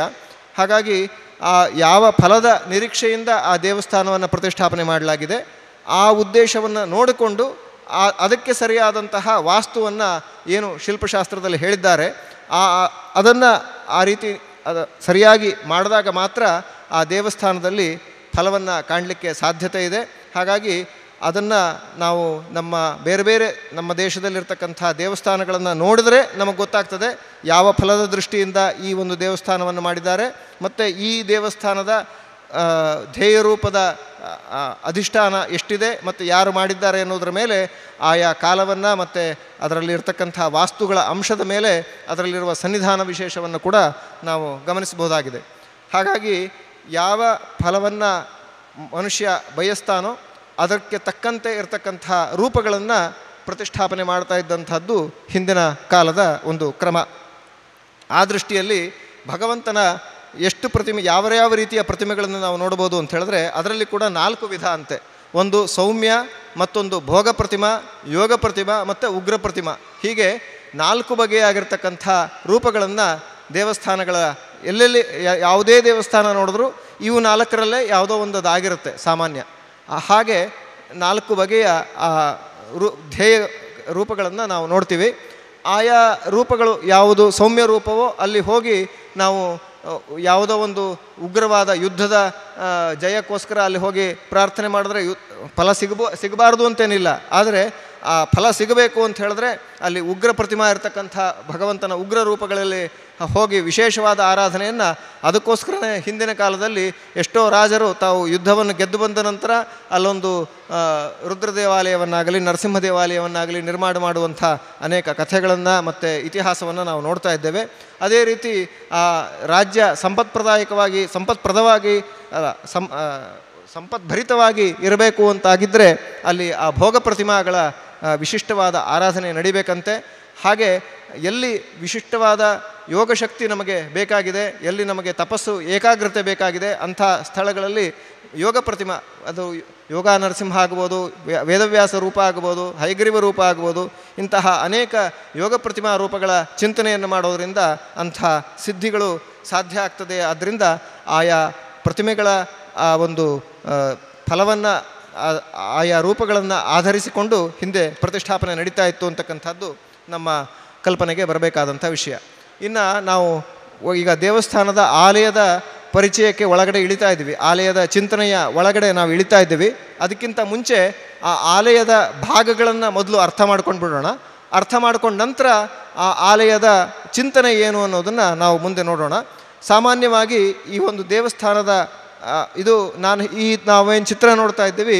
ಇದು ಮಾನುಷ ಅಥವಾ ಆಸುರ ಈ ವಿಭಾಗಕ್ಕೆ ಸೇರುವಂಥ ಪ್ರತಿಮಾ ರೂಪಗಳಲ್ಲಿ ಕಾಣ್ತಕ್ಕಂಥ ಒಂದು ದೇವಾಲಯದ ಒಂದು ಆವರಣ ಮತ್ತು ಅವುಗಳಲ್ಲಿ ಇರ್ತಕ್ಕಂಥ ಒಂದು ಸ್ವರೂಪ ಚಿಂತನೆ. ಇಲ್ಲಿ ನಾವು ಹೇಗೆ ಚಿಂತನೆ ಮಾಡಬೇಕು ಅಂತ ಹೇಳಿದ್ರೆ, ಬಾಗಿಲಲ್ಲಿ ಒಂದು ಸಿಂಹದ್ವಾರ, ಅದಾದ ನಂತರ ಅಲ್ಲಿ ಬಲಿಪೀಠ ಅಂತಕ್ಕಂಥದ್ದು ಧ್ವಜಸ್ತಂಭ ಅನ್ನೋವಂಥದ್ದು ನೋಡ್ತೇವೆ. ಇದು ನಾವು ಅನೇಕ ದೇವಸ್ಥಾನಗಳಲ್ಲಿ ನೋಡ್ತೇವೆ, ತಿರುಪತಿಯಲ್ಲೂ ನೋಡ್ತೇವೆ. ಅನೇಕ ಪಂಚರಾತ್ರಾಗಮದ ಪೂಜೆ ಇರತಕ್ಕಂಥ ಅನೇಕ ದೇವಸ್ಥಾನಗಳಲ್ಲಿ ಇದನ್ನೆಲ್ಲ ನಾವು ನೋಡಲಿಕ್ಕೆ ಸಾಧ್ಯ ಇದೆ. ಅದರ ಮುಂದೆ ವಾಹನ ಮಂಟಪ ಮತ್ತು ಮತ್ತು ಭೋಗ ಮಂಟಪ ಅಂತಲೂ ಕರೆಯುವಂಥದ್ದು. ಅದಾದಮೇಲೆ ಮಧ್ಯದಲ್ಲಿ ಅರ್ಧ ಮಂಟಪ ಅದಾದಮೇಲೆ ಅಂತರಾಳ. ಅದು ಗೃಹ ಗರ್ಭಗೃಹಕ್ಕೆ ಮುಜಲ ಮುಂಚೆ ಒಂದು ಅಂತರಾಳ ಅಂತಕ್ಕಂಥ ಜಾಗ. ಅದರ ಮಧ್ಯದಲ್ಲಿ ಗರ್ಭಗೃಹ ಅಂತಕ್ಕಂಥದ್ದನ್ನು ನಾವು ನೋಡ್ತೇವೆ. ಇದರಲ್ಲಿ ಈ ನಾವೀಗ ನೋಡ್ತಾ ಇರುವಂಥದ್ದು ಹಾರಿಸಾಂಟಲ್ ಆಗಿ, ಅಡ್ಡಡ್ಡಲಾಗಿ ಈ ಹಾರಿಸಾಂಟಲ್ ಆಗಿ ಈಗ ನಾವೇನು ಈ ಜಾಗಗಳನ್ನು ನಾವು ನೋಡ್ತಾ ಇದ್ದೇವೆ, ಇದನ್ನು ನೀವು ಮನಸ್ಸಿನಲ್ಲಿ ಗಮನದಲ್ಲಿ ಇಟ್ಕೊಳ್ಳಿ. ಯಾಕೆಂದರೆ ನಾವು ಮುಂದೆ ಮುಂದೆ ಹೋದ ಹಾಗೆ ಈ ಹೆಸರಿಂದ ನಾವು ಆ ಪ್ರದೇಶವನ್ನು, ಆಯಾ ಸ್ಥಾನಗಳನ್ನು ಗುರುತಿಸಿದಾಗ ನಿಮ್ಮ ಕಲ್ಪನೆಗೆ ಅದು ಅನುಕೂಲ ಆಗ್ತದೆ. ಇಲ್ಲಿ ಕೆಳಗಡೆ ದೇವಸ್ಥಾನದ ಕೆಳಗಡೆ ಫೌಂಡೇಶನ್ ಭಾಗವನ್ನು ಅಧಿಷ್ಠಾನ ಮತ್ತು ಉಪಪೀಠ ಅಂತ ಎರಡನ್ನ ನಾವು ನೋಡ್ತಾ ಇದ್ದೇವೆ. ಆ ಉಪಪೀಠ ಮತ್ತು ಅಧಿಷ್ಠಾನ ಇವುಗಳು ನಮಗೆ ಏನು ಅನ್ನೋದರ ಕಲ್ಪನೆ ನಮಗೆ ಗೊತ್ತಾಗೋದೇ ಇಲ್ಲ. ಸಾಮಾನ್ಯ ನಾವು ದೇವಸ್ಥಾನಕ್ಕೆ ಹೋದರೆ ನಾವು ಸುಮ್ಮನೆ ಪ್ರದಕ್ಷಿಣೆ ಹಾಕಿ ಬಂದಿರ್ತೇವೆ. ಅವುಗಳನ್ನು ಕೂಡ ಅವು ಚಿಂತನೆ ಹೇಗೆ ಮಾಡಬೇಕು ಅನ್ನೋವಂಥದ್ದನ್ನು ನಾವು ಈಗ ನೋಡ್ತಾ ಹೋಗೋಣ. ಇದರಲ್ಲಿ ಮುಂದೆ ಅಲ್ಲಿ ಮೇಲೆ ಧ್ವಜಸ್ತಂಭ ಇದೆ ಮತ್ತು ಗೋಪುರ ಇದೆ. ಆ ಗೋಪುರವನ್ನು ನಿರ್ಮಾಣ ಮಾಡಬೇಕಾದರೂ ಕೂಡ ನಮ್ಮ ಪ್ರಾಚೀನರು ವಿಶಿಷ್ಟವಾದ ಒಂದು ತಂತ್ರಜ್ಞಾನವನ್ನು ಬಳಸ್ತಾ ಇದ್ದರು ಏನಂತ ಹೇಳಿದ್ರೆ ಸೂರ್ಯೋದಯದಿಂದ ಸೂರ್ಯಾಸ್ತದ ಕಾಲದವರೆಗೆ ಎಲ್ಲಿ ಹೇಗೆ ನೆರಳು ಬೀಳ್ತದೆ ಯಾವ ಬದಿಯಿಂದ ಉತ್ತರಾಯಣದಿಂದ ಹಿಡಿದು ದಕ್ಷಿಣಾಯನದವರೆಗೆ ಮತ್ತು ದಕ್ಷಿಣಾಯನದಿಂದ ಹಿಡಿದು ಉತ್ತರಾಯಣದವರೆಗೆ ಸೂರ್ಯೋದಯ ಸೂರ್ಯಾಸ್ತಗಳನ್ನು ಗಮನಿಸಿಕೊಂಡು ಒಂದು ಕೋಲನ್ನು ಮಧ್ಯದಲ್ಲಿ ನಾವು ನೆಟ್ಟರೆ ಆ ಕೋಲಿಗೆ ಯಾವ್ಯಾವ ರೀತಿಯಲ್ಲಿ ನೆರಳುಗಳು ಬೀಳುತ್ತೆ, ಆ ನೆರಳಿನ ಉದ್ದ ಎಷ್ಟು, ಅಗಲ ಎಷ್ಟು, ಇವುಗಳನ್ನೆಲ್ಲ ಗಮನಿಸಿಕೊಂಡು ಒಂದು ವರ್ಷ ಕಾಲ ಆ ಜಾಗವನ್ನು ಕೂಲಂಕುಷವಾಗಿ ಆ ಪರೀಕ್ಷಿಸಿ ಮತ್ತು ಆ ಜಾಗ ಯಾವ ದೇವಸ್ಥಾನದಲ್ಲಿ ಜಾಗ ಅಂತ ನಾವು ನಿರ್ಮಾಣ ಮಾಡಲಿಕ್ಕೆ ಅಂತ ಹೋಗ್ತಾ ಇದ್ದೇವೆ, ಆ ಜಾಗದಲ್ಲಿ ಗೋವುಗಳು ಸಹಜವಾಗಿ ಬಂದು ತಾವಾಗೇ ಕೂತ್ಕೊಂಡು ಅಲ್ಲಿ ಹುಲ್ಲನ್ನು ತಿಂದು ವಿಹಾರ ಮಾಡಬೇಕು. ಅದರಲ್ಲಿ ಯಾವುದೇ ಕೂದಲು, ಮೂಳೆ ಇತ್ಯಾದಿಗಳು ಯಾವುದು ಸಿಕ್ಕಬಾರ್ದು ಆ ಜಾಗದಲ್ಲಿ. ಅದರಲ್ಲಿ ಈಶಾನ್ಯಕ್ಕೆ ಯಾವಾಗಲೂ ನೀರು ಹರಿತಾ ಇರುವಂಥದ್ದಾಗಿರಬೇಕು. ಅಂಥ ಅನೇಕ ನಿಯಮಾವಳಿಗಳನ್ನೆಲ್ಲ ಗಮನದಲ್ಲಿಟ್ಟುಕೊಂಡು ಅದಲ್ಲದೆ ಸೂರ್ಯೋದಯ ಸೂರ್ಯಾಸ್ತಗಳ ಗಮನದಲ್ಲಿ ಇಟ್ಟುಕೊಂಡು ನೋಡಿದ್ರೆ ಆ ಧ್ವಜದ ಮತ್ತು ಆ ಗೋಪುರದ ಛಾಯೆ, ನೆರಳು ಹೇಗೆ ಬೀಳಬೇಕು ಅದು ಅದು ಬಿದ್ದಾಗ ಯಾವ್ಯಾವ ಫಲ ಇದೆ ಅದಕ್ಕೆ ಅಂತ ಅನ್ನೋದನ್ನು ನಾವು ನೋಡೋದಾದರೆ ಆ ಧ್ವಜದ ಮತ್ತು ಗೋಪುರದ ನೆರಳು ಎಲ್ಲಿ ಬೀಳುತ್ತೆ ಮಧ್ಯಾಹ್ನದ ಹೊತ್ತು ಆ, ಶ್ಲೋಕವನ್ನು ನೋಡೋಣ ಇಲ್ಲಿ. ಧ್ವಜಸ್ಯ ಗೋಪುರಛಾಯ ಪುರಗ್ರಾಮ ಪ್ರಸಾರಿತ ಪೂರ್ವಯಾಮಂ ಶುಭಂ ಪ್ರೋಕ್ತಂ ದ್ವಿತೀಯಂ ನಷ್ಟಕಾರಕಂ ತೃತೀಯಂ ದುಃಖದಂ ಕಾರ್ಯಂ ಚತುರ್ಥಂ ತು ಶುಭಪ್ರದಂ. ಅಲ್ಲಿ ಮೊದಲನೇ ಯಾಮ ಮತ್ತು ಕೊನೆಯ ಯಾಮ.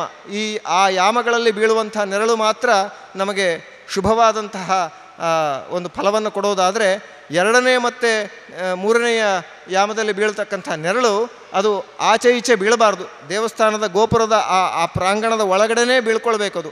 ಹಾಗೆ ಆ ನೆರಳಲ್ಲೂ ಕೂಡ ಕಂಟ್ರೋಲ್ ಮಾಡುವ ಹಾಗೆ ಆ ವಾಸ್ತುವಿನ ಮಂಡಲದ ಎತ್ತರ ಮತ್ತು ಆ ಗೋಪುರದ ಎತ್ತರ, ಆ ಗೋಪುರದ ಶೇಪು ಆ ಆಕೃತಿ ಇವುಗಳೆಲ್ಲವನ್ನು ಕೂಡ ನಿರ್ಮಾಣ ಮಾಡ್ತಾಯಿದ್ರು ಇವತ್ತಿನ ದೇವಸ್ಥಾನ ಕಟ್ಟೋರಿಗೆ ಎಷ್ಟೋ ಜನಕ್ಕೆ ಯಾಕೆ ಆ ರೀತಿ ಮೇಲ್ಗಡೆ ಶಿಖರ ಬರಬೇಕು? ಆ ಶಿಖರ ವೃತ್ತಾಕಾರನೇ ಯಾಕಾಗಬೇಕು ಅದು ಚಚ್ಚೌಕ ಯಾಕಾಗಬಾರ್ದು ಇವೆಲ್ಲ ಗಮನಿಸೋದಿಲ್ಲ. ಸುಮ್ಮನೆ ಏನೋ ಒಂದು ದೇವಸ್ಥಾನ ಕಟ್ಟಿಬಿಡ್ತಾರೆ. ಅದರಲ್ಲಿ ಉದ್ದು ಎತ್ತರಕ್ಕೆ ಪ್ರ, ಪ್ರತಿಮೆಯ ಎತ್ತರ ಎಷ್ಟಿದೆಯೋ, ಅಂದರೆ ಬಿಂಬ ಒಳಗಡೆ ಇರತಕ್ಕಂಥ ಬಿಂಬ ಎಷ್ಟೆತ್ತರ ಇದೆಯೋ, ಅದರ ಮೂರು ಪಟ್ಟು, ಮೂರುವರೆ ಪಟ್ಟು ಹೀಗೆಲ್ಲ ಎತ್ತರಗಳನ್ನು ಹೇಳಿದ್ದಾರೆ ಗೋಪುರಕ್ಕೆ. ಆ ಯಾವುದನ್ನೂ ನಾವು ಗಮನಿಸದೆ ಆ ದೇವಾಲಯವನ್ನು ನಿರ್ಮಾಣ ಮಾಡಿದಾಗ ಅದರ ನೆರಳು ಎಲ್ಲೆಲ್ಲಿ ಬೀಳುತ್ತೆ ಅನ್ನೋದನ್ನು ನೋಡಿಕೊಂಡು ಅದರ ಫಲಗಳನ್ನು ಕೂಡ, ಆ, ಫಲಭಾಗದ ನಿರ್ಣಯಗಳನ್ನು ನೋಡಿಕೊಂಡು ಆ ದೇವಸ್ಥಾನದ ಗೋಪುರ ಇತ್ಯಾದಿಗಳ ನಿರ್ಮಾಣ ಆಗ್ತಾ ಇತ್ತು. ಅಂತಹ ಉತ್ತಮವಾದಂಥ ವಾಸ್ತುತಜ್ಞರು ಮತ್ತು ತಂತ್ರಜ್ಞರು ನಮ್ಮಲ್ಲಿ ಇದ್ದರಾದ್ರಿಂದ ದೇವಸ್ಥಾನವನ್ನು ಇವತ್ತು ಹಳೆಯ ದೇವಸ್ಥಾನಗಳಲ್ಲಿ ಆ ನೆರಳಿನ ವಿಧಾನವನ್ನು ನೋಡ್ಬೋದು ತುಂಬ ಸಂಜೆ ಮತ್ತು ಬೆಳಕಿನ ಹೊತ್ತು ಮಾತ್ರ ನಮಗೆ ನೆರಳು ಕಾಣುವಂಥದ್ದು. ಮಧ್ಯಾಹ್ನದ ಹೊತ್ತಿನ ನೆರಳು ಅದದೇ ಗೋಪುರದ ಕೆಳಗಡೆನೆ ಬೀಳ್ತದೆ. ಹೊರತಾಗಿ ತುಂಬ ದೂರಕ್ಕೆ ಅದು ಹರಡೋದಿಲ್ಲ ಅನ್ನುವ ಗಮನಿಸ, ಅದನ್ನು ಕೂಡ ಗಮನಿಸಬೇಕು. ಅಂಥ ವಿಶಿಷ್ಟವಾದ ಪರಂಪರೆ ನಮ್ಮಲ್ಲಿತ್ತು. ಆಮೇಲೆ ದೇವಾಲಯವನ್ನು ಸಾಮಾನ್ಯ ತುಂಬ ಎತ್ತರದ ಪ್ರದೇಶದಲ್ಲಿ ಅಥವಾ ದೇವಾಲಯದ ಸುತ್ತಮುತ್ತಲು ತುಂಬ ಜಾಗ ಬಿಟ್ಟು ಮಾಡ್ತಾಯಿದ್ರು ಅದು ಕಾಲಕ್ರಮೇಣ ಏನಾಯಿತು? ಎಲ್ಲ ಹತ್ತಿರ ಹತ್ರ ಮನೆಗಳನ್ನು ಕಟ್ಟಿಕೊಂಡು ಅದೆಲ್ಲ ದೇವಸ್ಥಾನದ ಕಲ್ಪನೆಯೇ ನಮಗೆ ಅಸ್ತವ್ಯಸ್ತ ಆಗೋಯ್ತು. ಆದರೆ ಪ್ರಾಚೀನರ ಹೇಳುವಂತಹ ಮಾತಿದು, ದೇವಾಲಯಾನಾಂ ದೃಶ್ಯಂತೆ ವಿಮಾನಂ ಗೋಪುರಾಣಿ ಚ ಯಾವದ್ದೂರಂತು ಪರಿತಃ ತಾವದ್ವೈಕುಂಠ ಭೂತಲಂ ಅಂತ ಎಷ್ಟು ದೂರದವರೆಗೆ ಆ ದೇವಸ್ಥಾನದ ಗೋಪುರ ಕಾಣ್ತದೋ, ಈಗ ನಾವು ಸಾಮಾನ್ಯ ಒರಿಸ್ಸಾಗೆ ಹೋದರೆ ನೋಡ್ತೇವೆ. ಒರಿಸ್ಸಾದಲ್ಲಿರ್ತಕ್ಕಂಥ ದಿವ್ಯವಾದಂಥ ಗೋಪುರ, ತಿರುಪತಿಯಲ್ಲಿ ಆ ಒಂದು ಆನಂದ ನಿಲಯದ ಗೋಪುರ ಹೀಗಾಗಿ ಬೇರೆ ಬೇರೆ ದೇಶಗಳಲ್ಲಿ ನಾವು ನೋಡುವಂಥ ದೇವಸ್ಥಾನದ ಗೋಪುರದ ದೂರ, ಅದು ಎಷ್ಟೆತ್ತರಕ್ಕೆ ಆ ಗೋಪುರದ ಕಲಶದ ತುದಿ ಕಾಣ್ತದೋ ಅಷ್ಟು ಏರಿಯಾ, ಅಷ್ಟು ಭಾಗ ಅದು ಭಗವಂತನ ಮಂದಿರ ಅಂತಲೇ ಕರೆಸ್ಕೊಳ್ತದಂತೆ ಅಷ್ಟು ಅದರಲ್ಲಿ ಸಾನ್ನಿಧ್ಯ ಇರ್ತದೆ ಅನ್ನುವಂಥದ್ದು, ಆ, ಇಡೀ, ಆ, ವಾತಾವರಣದಲ್ಲಿ, ಅಷ್ಟು ಏರಿಯಾದಲ್ಲಿ ಅಂಥ ಒಂದು ಭಗವಂತನ ಒಂದು ಸನ್ನಿಧಾನ ಇರುತ್ತೆ ಅನ್ನುವಂಥದ್ದು ಪ್ರಾಚೀನರು ಹೇಳುವಂತಹ ಮಾತು. ಇದಲ್ಲದೆ ನಾವು ಆ ಭಗವಂತನ ಮಂದಿರವನ್ನು ಪ್ರವೇಶ ಮಾಡುವಾಗ ಒಂದು ನಾವು ಈಗ ಆ ಇಡೀ ಪ್ರದೇಶವನ್ನು ಗೋಪುರದಿಂದ ಅಂದರೆ ನಾವು ಎಲ್ಲಿ ನಿಂತಿದ್ದೇವೋ ಅಲ್ಲಿಂದ ಗೋಪುರ ಕಾಣುವಲ್ಲಿವರೆಗೆ ಭಗವಂತನ ಚಿಂತನೆ ಮಾಡುವ ಹಾಗೆ ಅಷ್ಟು ದೂರ ಅದು ಒಂದು ವೈಕುಂಠದ ಕಲ್ಪನೆ ಅಂತ ನಾವು ಅಂದುಕೊಂಡ ನಂತರ ಇನ್ನು ಸಾಕ್ಷಾತ್ ವೈಕುಂಠದ ಕಲ್ಪನೆ ನಮ್ಮ ಮನಸ್ಸಿಗೆ ಬರಬೇಕು. ಆ ವೈಕುಂಠ ಹೇಗಿದೆ? ಭಗವಂತನ ಮಂದಿರ ಹೇಗಿದೆ? ಆ ಭಗವಂತನ ಮಂದಿರದಲ್ಲಿ, ಮಧ್ಯದಲ್ಲಿ, ಆ ಭಗವಂತ ಸ್ವಮೂರ್ತಿಗಳ ಮಧ್ಯಗನಾಗಿ ಅವನು ನಿಂತಿದ್ದರೆ ಅವನ ಸುತ್ತಲೂ ಪರಿವಾರ ದೇವತೆಗಳಾಗಿ, ಅವನ ಸುತ್ತಲೂ ಸೇವೆ ಮಾಡ್ತಾ ಇರತಕ್ಕಂಥ ಆ ಒಂದು ದಿವ್ಯವಾದಂಥ ಆ ಲೋಕ ಹೇಗಿದೆ ಅನ್ನುವ ಕಲ್ಪನೆ ನಮಗೆ ದೇವಸ್ಥಾನದ ಒಳಗಡೆ ಹೋಗಬೇಕಾದಾಗ ಬಂದಾಗ ಮಾತ್ರ ಆ ಭಗವಂತನನ್ನು ಆ ಮೋಕ್ಷದ ಮೋಕ್ಷಪ್ರದನಾಗಿರ್ತಕ್ಕಂಥ ವಾಸುದೇವನ ರೂಪ ನಮ್ಮ ಹೃದಯದಲ್ಲಿ ಮೂಡಿಸಿಕೊಳ್ಳಬೇಕು. ಅದಕ್ಕಾಗಿ ಮೊದಲು ನಾವು ಆ ವೈಕುಂಠದ ಕಲ್ಪನೆ ನಮ್ಮ ಮನಸ್ಸಿಗೆ ಬರಬೇಕು. ಇಪ್ಪತ್ತೆಂಟು ಕೋಟಿ ಯೋಜನೆಗಳ ಚತುರಸ್ರಾಕಾರದ ಪ್ರದೇಶ ಆ ವೈಕುಂಠ. ಅದರಲ್ಲಿ ಮೊದಲ ಮೂರು ಪ್ರಾಕಾರಗಳಿಗೆ ಅಯೋಧ್ಯ ಅಂತ ಕರೀತಾರೆ. ಆ ಅಯೋಧ್ಯ ನಮ್ಮ ರಾಮಚಂದ್ರದೇವರ ಜನ್ಮಭೂಮಿ ಜೊತೆಗೆ ರಾಜಧಾನಿ ಆದರೂ ಕೂಡ ಮೂಲದಲ್ಲಿ ಆ ಪರಮಾತ್ಮನ ಸುತ್ತಲೂ, ವೈಕುಂಠದ ಸುತ್ತಲೂ ಇರತಕ್ಕಂಥ ಮೊದಲ ಮೂರು ಪ್ರಾಕಾರಗಳ ಪ್ರದೇಶಕ್ಕೆ ಅಯೋಧ್ಯ ಅಂತ ಕರೆಯೋದಾದರೆ ಅದಾದ ನಂತರ ಅಲ್ಲಿ ವಿರಜಾ ನದಿ, ಮತ್ತೆ ಅದಾದ ನಂತರ ಅದರ ಸುತ್ತಲೂ ಇರತಕ್ಕಂಥದ್ದು ಸಪ್ತ ಪ್ರಾಕಾರಗಳು. ಆ ಪ್ರ ಸಪ್ತ ಪ್ರಾಕಾರಗಳು, ಇದು ಮುಕ್ತ ಸ್ಥಾನ ಅಂತ ಕರೆಯುವಂಥದ್ದು ಇದಕ್ಕೆ ಶ್ರೀಭಾಗ ಅಂತ ಕರೀತಾರೆ. ಮತ್ತು ಅದರ ಹೊರಗೆ ಮತ್ತೊಂದು ಏಳು ಪ್ರಕಾರಗಳು. ಇದಕ್ಕೆ ಭೂ ಮತ್ತು ದುರ್ಗಾ ಭಾಗ ಅಂತ ಕರೆಯುವಂಥದ್ದು ಹೀಗೆ ಆ ಎಲ್ಲ ಕಲ್ಪನೆಗಳ ನಮ್ಮ ತಲೆಯಲ್ಲಿದ್ದರೆ ನಾವು ಒಳಗಡೆ ಹೋಗುವಾಗ ನಮ್ಮ ಚಿಂತನೆ ಗಟ್ಟಿಯಾಗ್ತಾ ಹೋಗ್ತದೆ. ನಾವು ಹೋಗ್ತಾ ಇರುವಂಥದ್ದು ಆ ಮೂಲರೂಪಿ ಭಗವಂತನ ಸಾನ್ನಿಧ್ಯಕ್ಕೆ ಅಲ್ಲಿ ಯಾವ ಭಗವಂತನ ಪಾದಗಳ, ಆ ಪಾದ ಕಮಲಗಳಿಗೆ ತಮ್ಮ ಕಿರೀಟವನ್ನು ಘಟ್ಟಿಸಿ ಆ ಪರಮಾತ್ಮನ ಪಾದದ ಬೆಳಕಿನಲ್ಲಿ ತಮ್ಮ ಕಿರೀಟದ ಬೆಳಕು ಕೂಡ ಕಡಿಮೆ ಆಗ್ತದೋ ಅಂಥ ದೇವತೆಗಳು ಪರಮಾತ್ಮನ ದರ್ಶನಕ್ಕೆ ಅನೇಕ ವರ್ಷಗಳ ಕಾಲ, ಅನೇಕ ದಿನಗಳ ಕಾಲ ಎಷ್ಟು ವರ್ಷ ಎಷ್ಟು ಕಾದರೂ ಸಿಗದೇ ಇರುವಂಥ ದರ್ಶನಕ್ಕೋಸ್ಕರ ನಿರಂತರವಾಗಿ ಸ್ತೋತ್ರ ಮಾಡ್ತಾ ಇರ್ತಕ್ಕಂಥ ಆ ದೇವತೆಗಳೇ ಆಗಿರುವಾಗ ನಾವು ಯಾವ ಮಹಾ ಅಂತ ನಾವು ಚಿಂತನೆ ಮಾಡ್ತಾ ಪರಮಾತ್ಮನನ್ನು ನೋಡಲಿಕ್ಕೆ ಉತ್ಸುಕರಾಗಿ ಒಳಗಡೆ ಹೋಗಬೇಕಂತೆ. ಹಾಗಾಗಿ ಆ ಪರಮಾತ್ಮನ ಆಲಯ ನಾವು ಇದುವರೆಗೆ ಈಗಾಗಲೇ ಒಮ್ಮೆ ನೋಡಿದ್ವಿ ದೇವಸ್ಥಾನದ ಆ ಒಂದು ಗರ್ಭಗೃಹದಿಂದ ಹಿಡಿದು ಬಾಗಿ, ಬಾಗಿಲ ತನಕ ಇರತಕ್ಕಂಥ ಒಂದು ಚಿತ್ರ ಈಗ ಈ ಮೊದಲು ನೋಡಿದ್ವಿ. ಅದು ನಾವು ಹೇಗೆ ಕಲ್ಪನೆ ಮಾಡಿಕೊಳ್ಬೇಕು ಅಂತ ಹೇಳಿದ್ರೆ, ಗರ್ಭಗೇಹ ಶಿರಪ್ರೋಕ್ತ, ಶಿರಪ್ರೋಕ್ತಂ ಶಿಖಾ ಶಿಖರ ಮುಚ್ಚತೆ, ನಾಸಿಕಾ ಶುಕನಾಸಿ ಸ್ಯಾತ್ ಅಂತರಾಲಂ ಗಲಂ ಸ್ಮೃತಂ, ಮಂಟಪಂ ದೇಹಮಿತ್ಯುಕ್ತಂ ಪ್ರಾಕಾರಂ ಪ್ರಾ, ಪ್ರಾಕಾರ ಕರ ಉಚ್ಯತೆ ಗೋಪುರಂ ಪಾದಯುತ್ಯುಕ್ತಂ ದೇವಸ್ಥಾನಂ ಪ್ರಕಥ್ಯತೆ ಅಂತ ಇದು ವಾತುಲಾಗಮದಲ್ಲಿ ಹೇಳ್ತಕ್ಕಂಥ ಮಾತು. ಅದನ್ನು ನಾವು ಮುಂದಿನ ಈ ಒಂದು ಚಿತ್ರದಲ್ಲಿ ನೋಡೋಣ. ಈ ಒಂದು ದೇವಸ್ಥಾನದ ಬಾಗಿಲು ನಾವು ಮೇಲೆ ನೋಡ್ತಾ ಇರ್ತಕ್ಕಂಥ ಚಿತ್ರ ಏನಿದೆ, ಮೇಲೆ ಕಾಣ್ತಾ ಇರ್ತಕ್ಕಂಥ ಡಯಾಗ್ರಾಮು, ಅದರಲ್ಲಿ ಕಪ್ಪಾದಂಥದ್ದು, ಆ ಪಾದದ ಭಾಗಕ್ಕೆ ಸರಿಯಾಗಿ ಒಂದು ಕಪ್ಪಾದಂಥ ಒಂದು ಚಿತ್ರವನ್ನು ನಾವು ನೋಡ್ತಾ ಇದ್ದೇವೆ. ಅದು ದೇವಸ್ಥಾನದ ಗೋಪುರ ಇರತಕ್ಕಂಥ ಜಾಗ ಆದರೆ, ಅದಾದ ಮೇಲೆ ಮತ್ ಮುಂದೆ ಮುಂದೆ ಮುಂದೆ ಮುಂದೆ ಬರ್ತಾ ಇರ್ತಕ್ಕಂಥ ಜಾಗಗಳಲ್ಲಿ ನಾವು ಕೆಳಗಡೆ ಮತ್ತೊಂದು ಚಿತ್ರವನ್ನು ನೋಡ್ತಾ ಇದ್ದೇವೆ. ಆ ಚಿತ್ರದಲ್ಲಿ ನೋಡುವಂತಹ ಆ ಷಟ್ಚಕ್ರಗಳ ಸ್ಥಾನ ಮತ್ತು ಯಾವ್ಯಾವ ಜಾಗದಲ್ಲಿ ಭಗವಂತನ ಕೈ ಯಾವುದು, ಕಾಲು ಯಾವುದು, ಪಾದ ಯಾವುದು, ಹೊಟ್ಟೆ ಯಾವುದು ಅಂತಕ್ಕಂಥ ಚಿಂತನೆಯನ್ನು ನಾವಿಲ್ಲಿ ಮಾಡ್ತಾ ಇದ್ದೇವೆ. ಹಾಗಾಗಿ ದೇವಸ್ಥಾನದ ಒಳ ಪ್ರಾಂಗಣದಲ್ಲಿ ಆ- ಆಲಯದ ಆವರಣದ ಒಳಗಡೆ ನಾವು ಹೆಜ್ಜೆ ಇಡುವಾಗಲೇ, ಆ ದೇವಸ್ಥಾನದ ಗೋಪುರದ ಒಳಗಡೆ ಹೆಜ್ಜೆ ಇಡುವಾಗಲೇ ಮೊದಲು ನಾವು ಪ್ರಾರ್ಥನೆ ಮಾಡಬೇಕಾದದ್ದು ಭಗವಂತನ ಪಾದವನ್ನು ಸಂಚಿಂತೆಯೇದ್ ಭಗವತಶ್ಚರಣಾರವಿಂದಂ ಅಂತ ಆ ಕಪಿಲ ಋಷಿಗಳು ಹೇಗೆ ಬ ಪಾದದಿಂದ ಆರಂಭಿಸಿಕೊಂಡು ತಲೆಯ ತನಕ ಭಗವಂತನನ್ನು ಚಿಂತನೆಯನ್ನು ನಮಗೆ ಭಾಗವತದಲ್ಲಿ ಹೇಳಿದ್ದಾರೆ, ಅಂಥ ಚಿಂತನೆ ನಮಗೆ ಪ್ರಾರಂಭ ಆಗಬೇಕಾದದ್ದು ಆ ದ್ವಾರದಲ್ಲೇ ಭಗವಂತನ ಪಾದಕಮಲಗಳನ್ನು ಆ ಪಾದದಲ್ಲಿರ್ತಕ್ಕಂಥ ಅನೇಕ ಪದ್ಮಾದಿ ಮುದ್ರೆಗಳನ್ನು ಚಿಂತನೆ ಮಾಡ್ತಾ ನಾವು ಒಳಗಡೆ ಪ್ರವೇಶ ಮಾಡಬೇಕಂತೆ. ಮಾಡ್ತಾ ಮಾಡ್ತಾ ನಾವು ಮುಂದೆ ಬಂದ ಹಾಗೆ ನಮಗೆ ಕಾಣುವಂಥ ಆ ಜಾಗಗಳು ಯಾವುದು ಅಂತ ಹೇಳಿದ್ರೆ ಇಲ್ಲಿ ಇನ್ನೊಂದು ಚಿತ್ರವನ್ನು ನೋಡ್ತಾ ಇದ್ದೀವಿ. ಆ ಚಿತ್ರದಲ್ಲಿ ಆ ಸ್ಥಾನಗಳು ಯಾವುದು ಷಟ್ಚಕ್ರಗಳ ಸ್ಥಾನಗಳ ಜೊತೆಗೆ ಆಯಾ ಬಲಿಪೀಠ ಸ್ಥಾನ ಮತ್ತು ಅಲ್ಲಿ ಮಹಾಮಂಟಪ ಸ್ಥಾನ ಮತ್ತು ವಿಮಾನ, ಮತ್ತು ಅಥವಾ ಗರ್ಭಗೃಹ ಈ ಸ್ಥಾನಗಳನ್ನು ನಾವು ನೋಡ್ತಾ ಇದ್ದೇವೆ. ಅದರಲ್ಲಿ ವಿಶೇಷವಾಗಿ ಯಾವಾಗ ಪರಮಾತ್ಮನ ಆ ಒಂದು ಪಾದವನ್ನು ದಾಟಿಕೊಂಡು, ಮಂಡಿಯನ್ನು ದಾಟಿಕೊಂಡು ಪರಮಾತ್ಮನ ಆ ಮೂಲಾಧಾರ ಸ್ಥಾನಕ್ಕೆ ಬರ್ತೇವೆ, ಅಲ್ಲಿ ಬಲಿಪೀಠ ಅಂತ ಇರ್ತದೆ. ಸಾಮಾನ್ಯ ನಾವು ನೋಡ್ತೇವೆ, ತಿರುಪತಿಯ ದರ್ಶನಕ್ಕೆ ಹೋಗುವಾಗ ನಮಗೆ ಅಲ್ಲೊಂದು ಬಂಗಾರದ ಒಂದು ಧ್ವಜಸ್ತಂಭ ಇರುತ್ತೆ. ಅದರ ಮುಂದೆ ಒಂದು ಬಲಿಪೀಠ ಅಂತ ಸಾಮಾನ್ಯ ಅಲ್ಲಿಂದ ಹಿಂದೆ ಎಲ್ರಿಗೂ ನಮಸ್ಕಾರ ಮಾಡಲಿಕ್ಕೆ ಅಂತ ಅಲ್ಲೊಂದು ಬಂಗಾರದ ಬಲಿಪೀಠ ನೋಡ್ತೇವೆ. ಅದು ಏನು ಅಂತ ಹೇಳಿದ್ರೆ ಅರಿಷಡ್ವರ್ಗಗಳನ್ನು ಬಲಿಯನ್ನು ಕೊಡುವಂಥ ಜಾಗ. ಅಲ್ಲಿ ನಾವು ಹೋಗಿ ನಮಸ್ಕಾರ ಮಾಡಿದಾಗ ನಮ್ಮಲ್ಲಿರ್ತಕ್ಕಂಥ ಅರಿಷಡ್ ವರ್ಗಗಳಿಂದ ಜನ್ಯವಾದಂಥ ಎನ್ ಏನೇನು ಪಾಪಗಳಿದೆ ಮತ್ತು ನಮ್ಮಲ್ಲಿರ್ತಕ್ಕಂಥ ಆ ಎಲ್ಲ ಅರಿಷಡ್ ವರ್ಗಗಳನ್ನು ನಾವು ಅದರಿಂದ ಬರುವಂತಹ ಏನು ಕೆಟ್ಟ ಕೆಲಸ ಮಾಡ್ತಾ ಇದ್ದೇವೆ ಅಥವಾ ಮಾಡಬಾರ್ದು ಎನ್ನುವ ದೃಷ್ಟಿಯಿಂದ ಅವೆಲ್ಲವನ್ನು ಕೂಡ ಭಗವಂತ ಅದನ್ನು ತೊಡೆದು ಹಾಕಿ ನಮ್ಮಲ್ಲಿ ಸನ್ಮಾರ್ಗವನ್ನು ತೋರಿಸುವಂತಹ ಒಂದು ಕೆಲಸವನ್ನು ಮಾಡಿಸಲಿ ಅಂತ ಪ್ರಾರ್ಥನೆ ಮಾಡ್ತಾ ಅವೆಲ್ಲವನ್ನು ನಾವಲ್ಲಿ ಬಲಿ ಕೊಡಬೇಕಂತೆ. ಕೊಟ್ಟು ಮುಂದೆ ಆ ಮಹಾಮಂಟಪದಲ್ಲಿ ಹೋಗಬೇಕಂತೆ. ಮಹಾಮಂಟಪ ಹೋಗುವಾಗ ನಾವು ಸಾಮಾನ್ಯ ಇವಾಗ ಹೋಗುವಂಥದ್ದು ಮಹಾಮಂಟಪ ಯಾವುದು ಅಂತ ಹೇಳಿದ್ರೆ ಶ್ರೀನಿವಾಸ ದೇವರ ಗುಡಿಯಲ್ಲಿ ರಜತ ಬಾಗಿಲನ್ನು ದಾಟಿಕೊಂಡು ಮುಂದೆ ಗರುಡ ದೇವರ ಮು, ಮುಂದೆ ನಾವೇನು ನಡ್ಕೊಂಡು ಹೋಗ್ತೀವಲ್ಲ, ಅಲ್ಲಿ ಇಬ್ಬರು ಜಯ ವಿಜಯರ ಸ್ಥಾನಕ್ಕಿಂತ ಮುಂಚೆ ಆ ಭಾಗ, ಅದು ಮಹಾಮಂಟಪ ಅಂತ ಹೆಸರು. ಮಹಾಮಂಟಪ ಅಂತ ಕರೆಯುವಂಥ ಜಾಗ. ಆ ಸ್ಥಳದಲ್ಲಿ ನಾವು ಚಿಂತನೆ ಮಾಡಬೇಕಾದದ್ದೇನು ಅಂತ ಹೇಳಿದ್ರೆ ಅಲ್ಲಿ ಸಾಮಾನ್ಯ ಈ ನಮ್ಮ ಬ್ರಾಹ್ಮೀಯ ಚಿತ್ರಕರ್ಮಶಾಸ್ತ್ರದಲ್ಲಿ ವಿಶೇಷವಾಗಿ ಆರು ಬಗೆಯ ಗರುಡ ರೂಪಗಳನ್ನು ಹೇಳ್ತಾರೆ.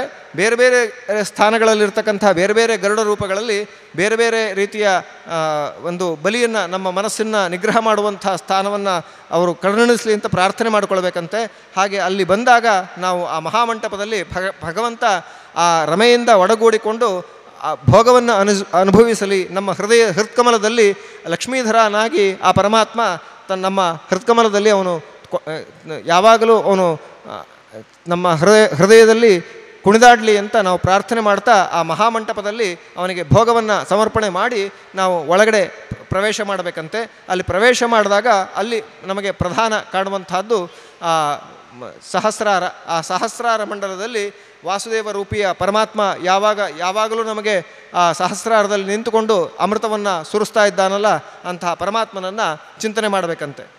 ಇನ್ನು ಆ ಪರಮಾತ್ಮನ ಗರ್ಭಗೃಹದ ಒಳಗಡೆ ಬಂದಾಗ, ಆ ಗರ್ಭಗೃಹದಲ್ಲಿ ನಾ, ಐದು ಬಗೆಯ ಚಿಂತನೆ.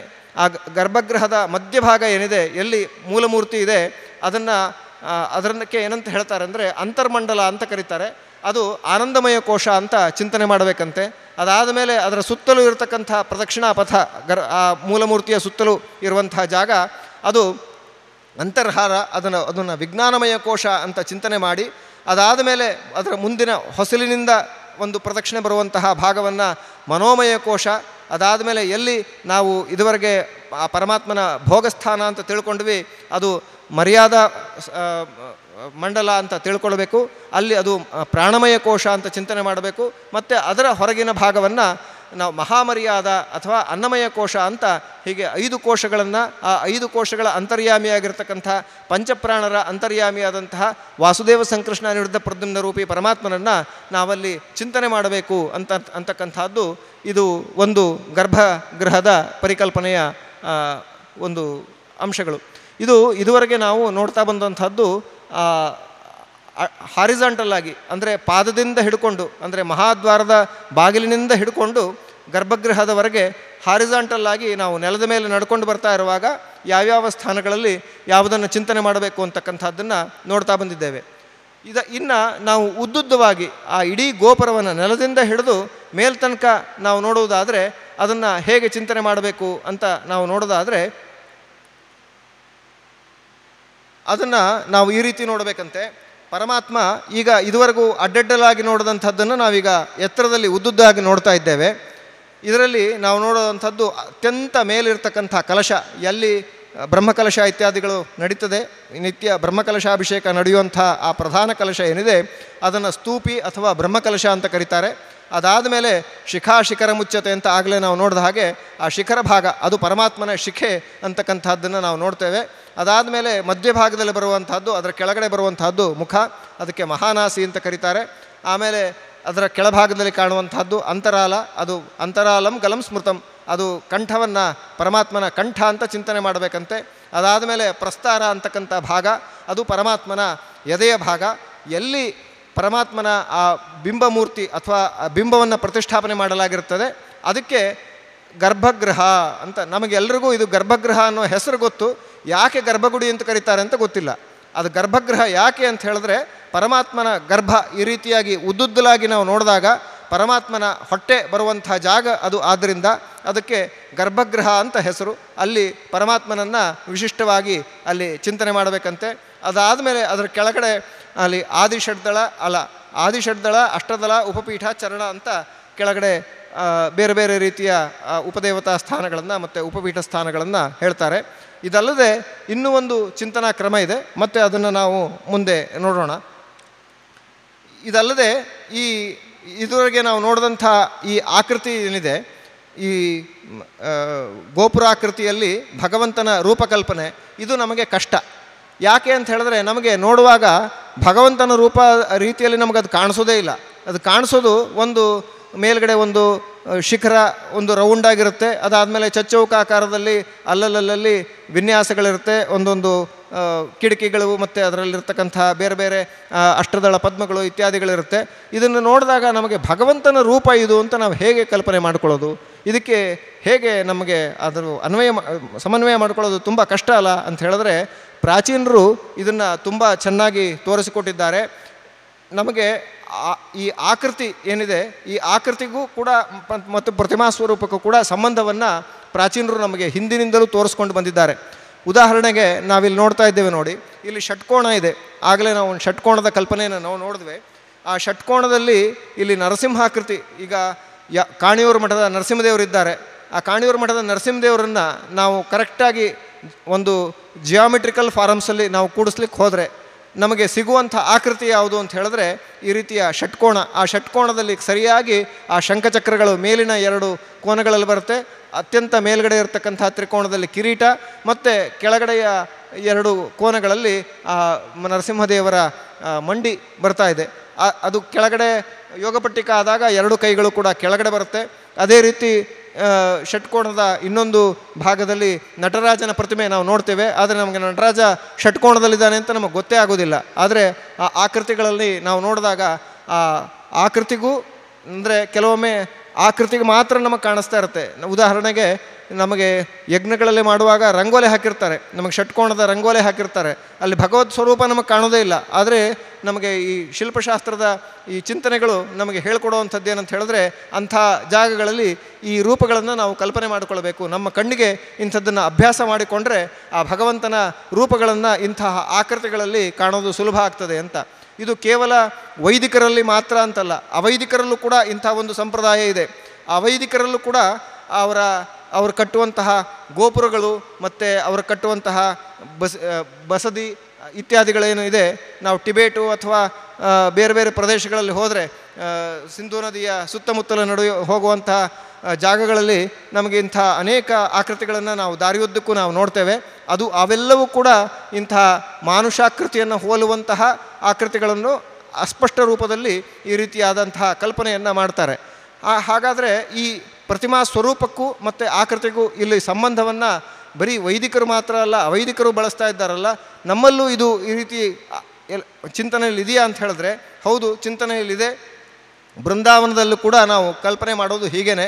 ಒಂದು ಬೃಂದಾವನ ಇದೆ ಅಂತ ಆದರೆ ಅಲ್ಲಿ ಕೂಡ ನಾವು ಆ ಷಟ್ಚಕ್ರ ಸ್ಥಾನಗಳನ್ನು ಮತ್ತು ಅದರಲ್ಲಿ ಕಾಣುವಂಥ ತಲೆ ಯಾವುದು, ಹೆಗಲೆ ಯಾವುದು, ಕೈ ಯಾವುದು, ಕಾಲು ಯಾವುದು ಇತ್ಯಾದಿ ಎಲ್ಲವನ್ನು ಕೂಡ ಒಬ್ಬ ಸಾಧಕರು ಕೂತುಕೊಂಡು ನಮಸ್ಕಾರ ಭಂಗಿಯಲ್ಲಿದ್ದರೆ ಹೇಗಿರಬಹುದೋ ಆ ಆಕೃತಿಯನ್ನು ಹೋಲುವ ಹಾಗೆ ಇಂಥ ಕಲ್ಪನೆಗಳು ನಮ್ಮಲ್ಲಿ ಕಾಣ್ತಾ ಇವೆ ಇದ್ದುವು ಅನ್ನೋದನ್ನು ತೋರಿಸುವ ಅದಕ್ಕೆ ಈ ಒಂದು ಆಕೃತಿಗೂ ಮತ್ತು ಒಂದು ಪ್ರತಿಮೆಗೂ ಇರತಕ್ಕಂಥ ಸಂಬಂಧವನ್ನು ನಾವಿಲ್ಲಿ ನೋಡಿದ್ದೇವೆ. ಇನ್ನು ಗೋಪುರದಲ್ಲಿ ಗೋಪುರದ ಮಧ್ಯಭಾಗದಲ್ಲಿ ಸಾಮಾನ್ಯವಾಗಿ ನಾವು ಮೂರು ಕಲಶಗಳನ್ನು ಕಾಣುವಂಥದ್ದಿದೆ ಅಥವಾ ಒಂದು ಕಲಶವನ್ನು ಕೂಡ ಕಾಣುವಂಥದ್ದಿದೆ.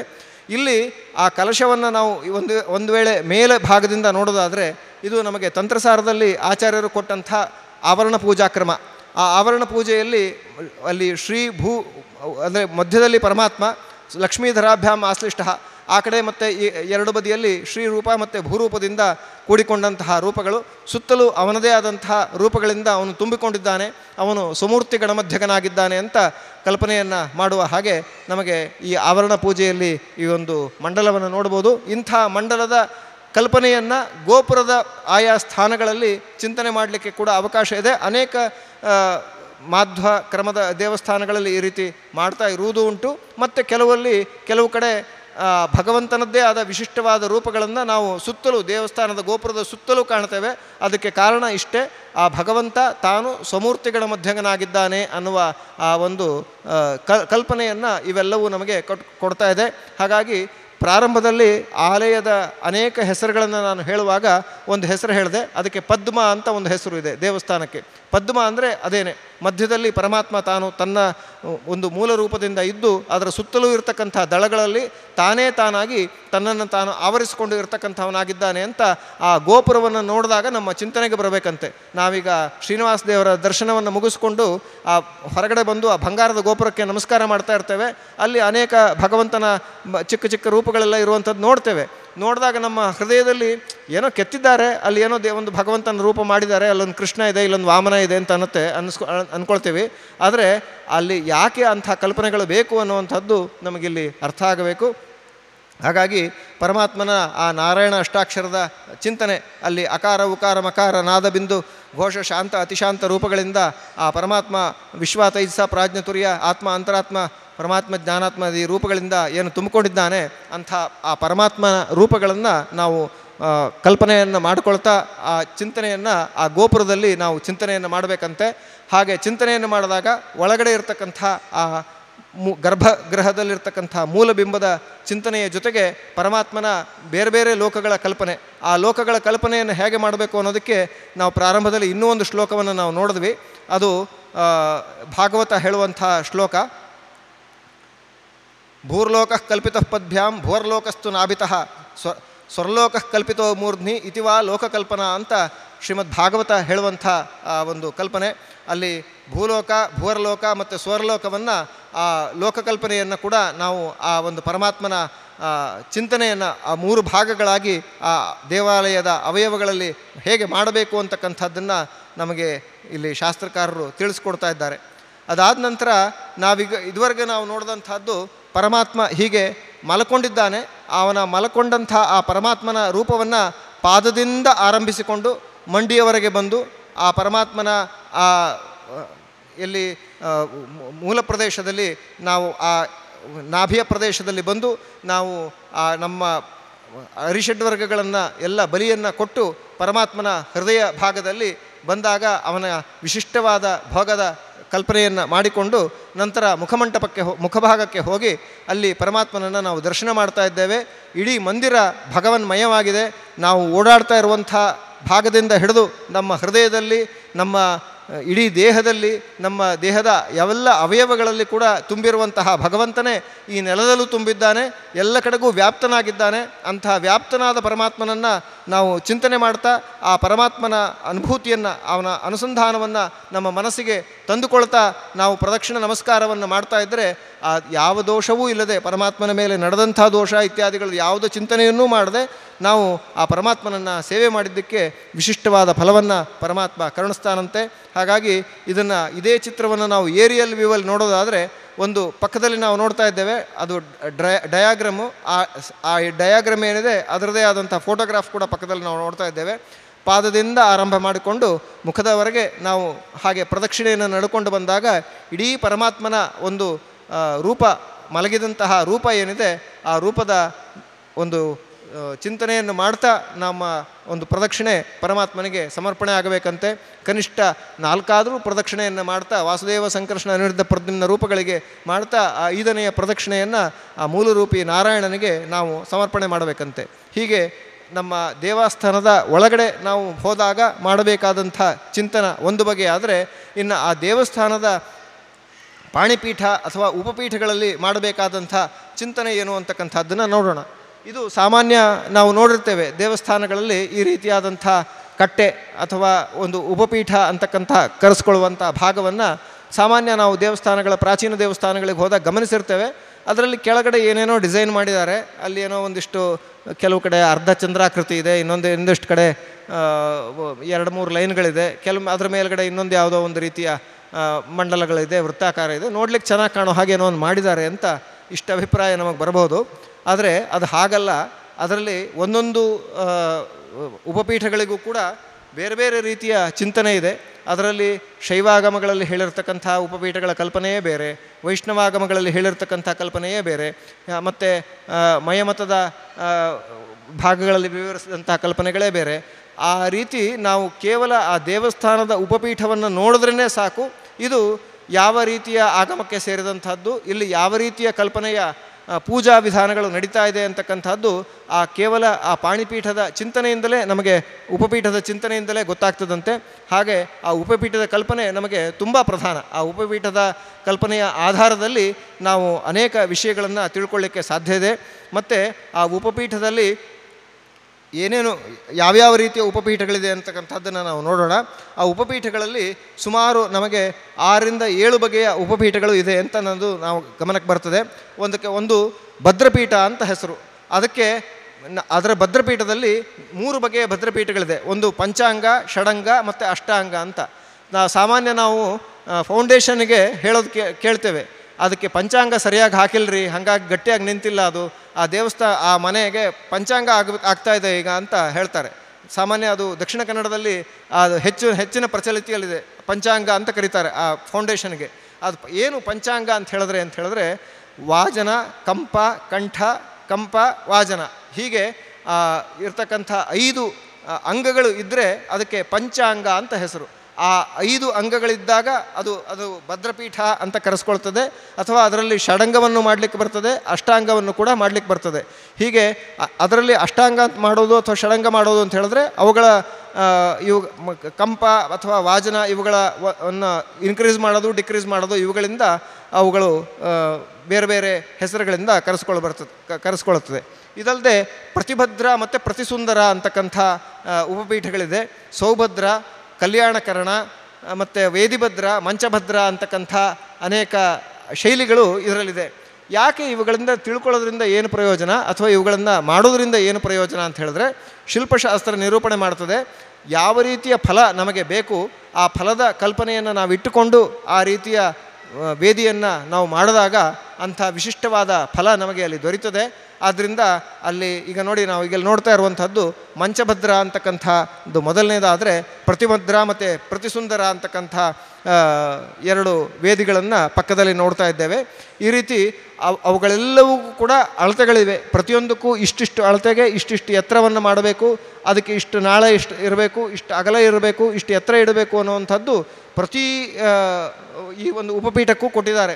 ಉಪಪೀಠಕ್ಕೆ ಕಾಶ್ಯಪ ಶಿಲ್ಪಶಾಸ್ತ್ರ ತುಂಬ ಮಹತ್ವ ಕೊಟ್ಟಿದೆ.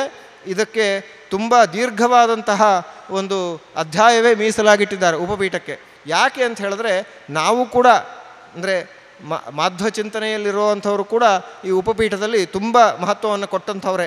ಯಾಕೆ ಅಂದರೆ ನಮ್ಮಲ್ಲೂ ಕೂಡ ಅಂಥ ಉಪಪೀಠದ ಚಿಂತನೆ ವಿಶಿಷ್ಟವಾಗಿ ನಡೀತದೆ. ಇಲ್ಲಿ ನೋಡಿ ಸೌಭದ್ರ ಅಂತಕ್ಕಂಥ ಪೀಠ ವ್ಯಾಸರಾಜರ ಬೃಂದಾವನದಲ್ಲಿ ನಾವು ನೋಡೋದಾದರೆ ಕಲ್ಯಾಣಕರಣ ಅಂತಕ್ಕಂಥ ಆ ಪೀಠದ ಕ್ರಮ ಶ್ರೀ ರಾಘವೇಂದ್ರ ಶ್ರೀಪಾದಂಗಳವರ ಬೃಂದಾವನದಲ್ಲಿ ನಾವು ನೋಡಬಹುದಾಗಿದೆ. ಅಂಥ ಅದ್ಭುತವಾದಂತಹ ಅನೇಕ ಶಿಲ್ಪಶಾಸ್ತ್ರದಿಂದ ಶಿಲ್ಪಶಾಸ್ತ್ರದಲ್ಲಿ ವರ್ಣಿತವಾದಂಥ ಆ ಒಂದು ಪೀಠದ ವರ್ಣನೆಗಳೇನಿದೆ, ಅಂಥ ವರ್ಣನೆಗಳು ನಮ್ಮ ಸಂಪ್ರದಾಯದಲ್ಲೂ ಕೂಡ ವಿಶಿಷ್ಟವಾಗಿ ಅವುಗಳನ್ನು ನಾವು ಇಲ್ಲಿ ಗಮನಿಸ್ಬೋದಾಗಿದೆ ಅದಲ್ಲದೆ ಪರಮಪುರುಷ ಆಧಾರ ಶಕ್ತಿ ವಿಷ್ಣುಕೂರ್ಮ ವಾಯುಕೂರ್ಮ ಅದರಲ್ಲಿ ಮಧ್ಯದಲ್ಲಿ ಬರುವಂಥ ಬರುವಂತಹ ಘನೋದಕ ಇತ್ಯಾದಿಗಳ ಇವೆಲ್ಲವುಗಳ ಕಲ್ಪನೆಯೂ ಕೂಡ ಬರೋ ಹಾಗೆ ಕೆಳಗಡೆ ವ್ಯಾಸರಾಜರ ಪೀಠದಲ್ಲಿ ನಾವು ನೋಡ್ಬೋದು ಆ ಆನೆಗಳ ಸಾಲಿದೆ. ಆ ಆನೆಗಳ ಸಾಲಿನ ಕೆಳಗಡೆ ನಿಮಗೆ ಹೀಗೆ ಒಂದು ವೃತ್ತಾಕಾರದ ಲೈನ್ಗಳು ಕಾಣುತ್ತೆ. ಅದು ಕೇವಲ ಪದ್ಮಪೀಠ ಅಲ್ಲ. ಆ ಪದ್ಮಪೀಠದ ಮೇಲಿರ್ತಕ್ಕಂಥ ಯಾವ ಮೇಲೆ ಪರಮಪುರುಷ ಆಧಾರ ಶಕ್ತಿ ಅದರ ಮೇಲೆ ಬರುವಂಥ ವಿಷ್ಣು ಕುರ್ಮದ ಮೇಲೆ ಬರುವಂಥ ಗನೋದಕ ಏನಿದೆ, ಆ ಗನೋದಕದ ಕಲ್ಪನೆ, ಆ ಉದಕದ ಅಲೆಗಳ ಕಲ್ಪನೆ ಏನಿದೆ, ಆ ಅಲೆಗಳ ಕಲ್ಪನೆಯನ್ನು ಕೂಡ ನಾವಲ್ಲಿ ಮಾಡಿಕೊಳ್ಳಿಕ್ಕೆ ಅವಕಾಶ ಇದೆ. ಹಾಗೆ ಅದರ ಮೇಲೆ ಹೇಳ್ತಕ್ಕಂಥ ಸೌಭದ್ರ ಪೀಠದ ವರ್ಣನೆ. ಸೌಭದ್ರ ಪೀಠ ಅಂತಂದರೆ ಭದ್ರವಾಗಿ ನಿಂತು ಒಳ್ಳೆಯ ಶ್ರೇಷ್ಠವಾದಂಥ ಫಲವನ್ನು ಕೊಡುವಂಥ ಪೀಠ, ಅಂಥ ಪೀಠ ವ್ಯಾಸರಾಜರ ಪೀಠ ಆಗಿದೆ. ಆದ್ದರಿಂದ ಎಂಥ ದುಷ್ಟರು ಬಂದರೂ ಕೂಡ ಏನು ಮಾಡಲಿಕ್ಕಾಗದೆ ಇವತ್ತಿಗೂ ಕೂಡ ಭದ್ರವಾಗಿ ನಿಂತಹ ಒಂದು ದಿವ್ಯವಾದಂಥ, ಆ, ಪೀಠ, ಆ, ವ್ಯಾಸರಾಜರದ್ದು. ಅಂಥದ್ದು ಚಿಂತನೆಯನ್ನು ಮಾಡಬೇಕು. ಅಷ್ಟ ಕಲ್ಯಾಣಕರಣ ಪೀಠದಲ್ಲಿರುವಂಥ, ಆ, ರಾಘವೇಂದ್ರ ಸ್ವಾಮಿಗಳ ಬೃಂದಾವನದಲ್ಲಿ ವಿಶಿಷ್ಟವಾಗಿ ಸನ್ನಿಹಿತನಾಗಿರ್ತಕ್ಕಂಥ ಭಗವಂತ ಆ ಒಂದು ವಿಶಿಷ್ಟವಾದ ಫಲವನ್ನು ಕಲ್ಯಾಣಕಾರಕನಾಗಿ ಲೋಕಕ್ಕೆಲ್ಲ ಕೊಡ್ತಾ ಇದ್ದಾನೆ ಅಂತ. ಹಾಗೆ, ಆ, ನಮ್ಮ ತಂತ್ರಸಾರದಲ್ಲಿ ಹೇಳಿರ್ತಕ್ಕಂಥ ಪೀಠ ಪೂಜಾ ಕಲ್ಪನೆಗಳಿಗೂ ಕೂಡ ಈ ಒಂದು ಚಿಂತನೆಗೆ ಅವಕಾಶ ಇರುವಂತಹದ್ದು ಈ ಉಪಪೀಠಗಳು ಅಂತಕ್ಕಂಥದ್ದನ್ನು ನಾವಿಲ್ಲಿ ಚಿಂತನೆ ಮಾಡಬಹುದಾಗಿದೆ. ಇದಾದ ಮೇಲೆ ನಾವು ಇದುವರೆಗೆ ದೇವಸ್ಥಾನದ ಅವಯ ಅವಯವಗಳನ್ನು, ಆಲಯದ ಹೊರಭಾಗಗಳನ್ನು ನಾವು ಇದುವರೆಗೆ ಸ್ಥೂಲವಾಗಿ ನೋಡಿದ್ದಾಯಿತು. ಇನ್ನು ಮೂರ್ತಿ ಶಿಲ್ಪ, ಅದರಲ್ಲಿ ಇರತಕ್ಕಂಥ ಪ್ರ, ಪ್ರತಿಮಾಂಗ ಲಕ್ಷಣಗಳು ಮತ್ತು ಆ ಪ್ರತಿಮೆಯ ಅವಯವಗಳು ಹೇಗೆ ಎಷ್ಟೆಷ್ಟು, ಎಷ್ಟು ಉದ್ದ ಇರಬೇಕು, ಹೇಗಿರಬೇಕು ಅಂತಕ್ಕಂಥದ್ದನ್ನು ವಿಶಿಷ್ಟವಾಗಿ ತಂತ್ರಸಾರದ ಮೂರನೆಯ ಅಧ್ಯಾಯದಲ್ಲಿ ಶ್ರೀಮದ್ ಆನಂದತೀರ್ಥ ಭಗವತ್ಪಾದಾಚಾರ್ಯರು ವರ್ಣನೆ ಮಾಡಿದ್ದಾರೆ.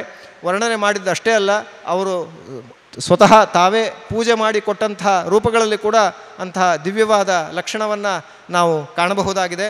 ಅಂತಹ ದಿವ್ಯವಾದ ಪರಮಾತ್ಮನ ಚಿಂತನೆಯನ್ನು ಆಚಾರ್ಯರು ನಮಗೆ ಆ ಮೂವತ್ತೇಳು ಶ್ಲೋಕಗಳಲ್ಲಿ ಕೊಟ್ಟಿರುವಂತಹದ್ದು ನಮಗೆ ದೇಹದ ಅಳತೆಯನ್ನು ಕೊಟ್ಟಿದ್ದಾರೆ. ದೇಹದ ಅಳತೆ ತಲೆಯಿಂದ ಹಿಡಿದು ಅಂದರೆ ಮೇಲೆ ಶ, ನಮ್ಮ ಬ್ರಹ್ಮರಂಧ್ರದಿಂದ ಹಿಡಿದು ಪಾದದ ಕೊನೆಯ ತುದಿಯವರೆಗೆ ಇರತಕ್ಕಂಥ ಅಳತೆ ಅದು ಹೇಗಿರಬೇಕು ಅಂತಕ್ಕಂಥದ್ದು ಅದು ದಶತಾಲಮಾನದಲ್ಲಿ ಹೇಳಿದ್ದಾರೆ.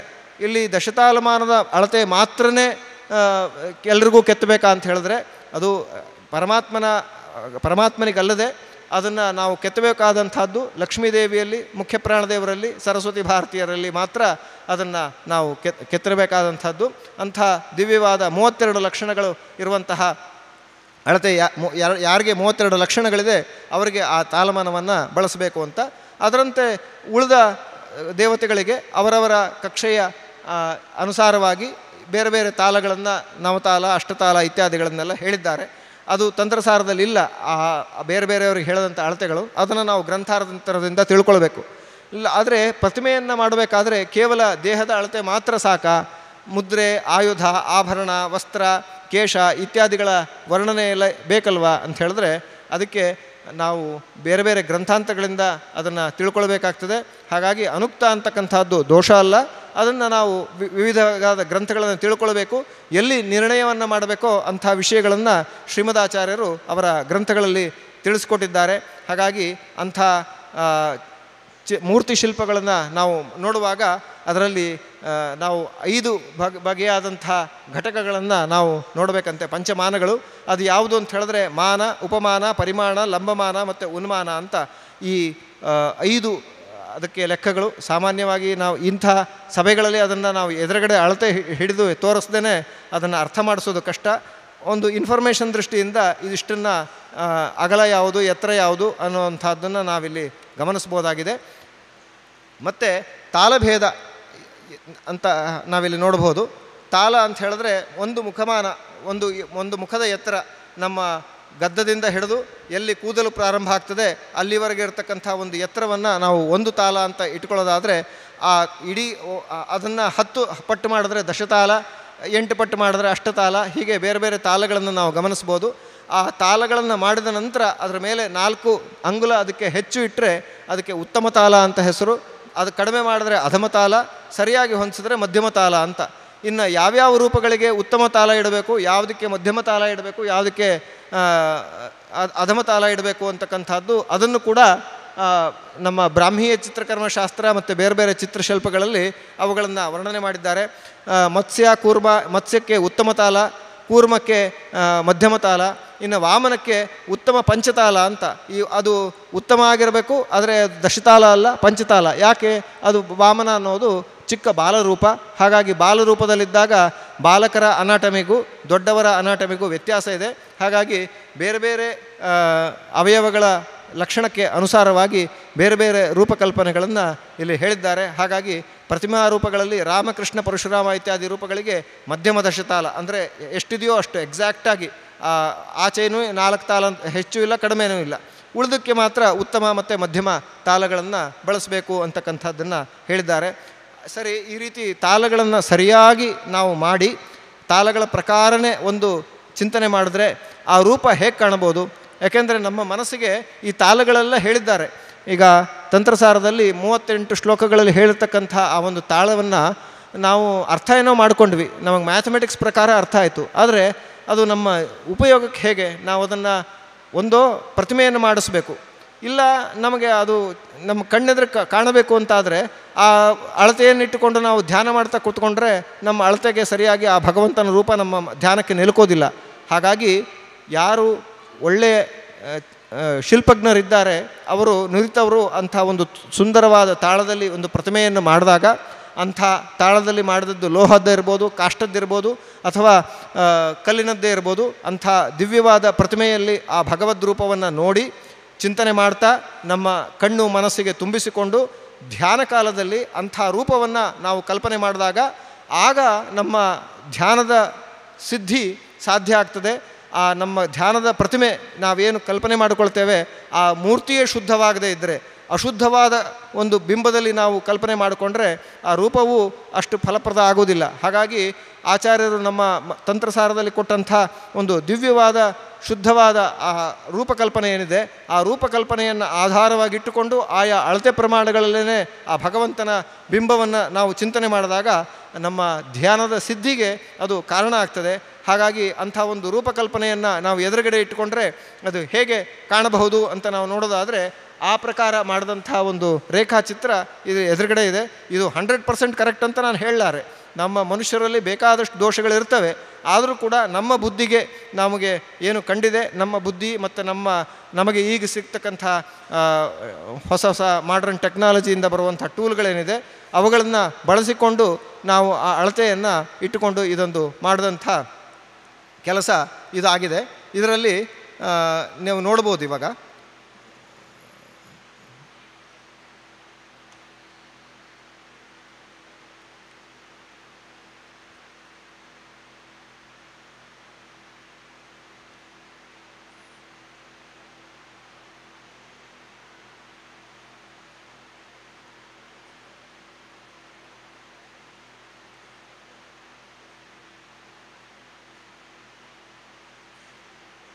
ಆಗ್ತಾ ಇಲ್ಲ. ಆಚಾರ್ಯರು ಕೊಟ್ಟಂತಹ ಆ ಅಳತೆಯ ಅದು ಉದ್ದನೆಯ, ಉದ್ದದ್ದು ಆಗಿರಬಹುದು, ಅಗಲನೂ ಆಗಿರಬಹುದು ಹಾರಿಜಾಂಟಲ್ ಮತ್ತು ವರ್ಟಿಕಲ್ ಈ ಎರಡೂ ಅಳತೆಗಳನ್ನು ಆಧಾರವಾಗಿಟ್ಟುಕೊಂಡು ಆ ಅಳತೆಗಳ ಆಧಾರದಲ್ಲಿ ಒಂದು ಅಷ್ ಒಂದು ದಶತಾಲದ ಕಲ್ಪನೆಯನ್ನು ಮಾಡಿಕೊಂಡು ಒಂದು ಚಿತ್ರವನ್ನು ಮಾಡುವುದಾದರೆ ಭಗವಂತನ ರೂಪಕಲ್ಪನೆಯನ್ನು ನಾವು ಮಾಡೋದಾದರೆ ಅದು ಹೇಗೆ ನಾವು ಮಾಡಿಕೊಳ್ಳಬಹುದು ಅನ್ನೋದಕ್ಕೆ ಒಂದು ಚಿಕ್ಕ ಪ್ರಯತ್ನ ಇದು. ಅಂಥ ಭಗವಂತನ ರೂಪವನ್ನು ನಾವು ದಿವ್ಯವಾದಂಥ ರೂಪಗಳನ್ನು ನಾವು ಕಲ್ಪನಾ ಮಾಡಿಕೊಂಡು ಅಂಥ ಧ್ಯೇಯವನ್ನು ಸಾಮಾನ್ಯವಾಗಿ ಪ್ರಾಚೀನರು ಪ್ರತಿಷ್ಠಾಪನೆ ಮಾಡಿದಂಥ ದೇವಸ್ಥಾನಗಳಿಗೆ ನಾವು ಹೋದಾಗ ಅಲ್ಲಿ ಇಂಥ ದಿವ್ಯವಾದ ಪ್ರತಿಮೆಗಳ ಆಗಲೇ ಪ್ರತಿಷ್ಠಾಪಿತವಾಗಿರ್ತದೆ. ಅದರ ಮೇಲೆ ವಿಶಿಷ್ಟವಾಗಿ ಅಲಂಕಾರ ಮಾಡಿರ್ತಾರೆ. ಹಾಗಾಗಿ ನಮಗೆ ಆ ರೂಪಕಲ್ಪನೆ ಬರದೇ ಇರ್ಬೋದು. ಆದರೂ ಆ ಮೂಲ ರೂಪದ ದರ್ಶನ ಆದಾಗ, ಆ ದರ್ಶನವಾಗುವಾಗ ನಾವು ಆ ಭಗ್, ಆ ಯಾವ ರೂಪವನ್ನು ನಾವು ಕಣ್ಣಿಗೆ ಕಾಣಿಸ್ತಾ ಇದ್ದೆ, ಕಣ್ಣಿಗೆ ಕಾಣುತ್ತೆ, ಅಂಥ ರೂಪವನ್ನು ನಾವು ನಮ್ಮ ಮನಸ್ಸಿಗೆ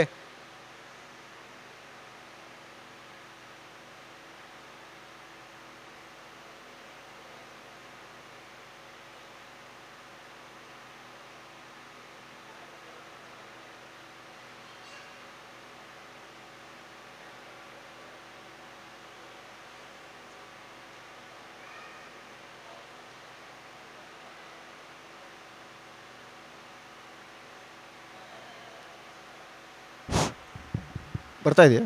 ಇಲ್ಲ. ಇಲ್ಲಿ ಬರ್ತಾ ಇದೆ.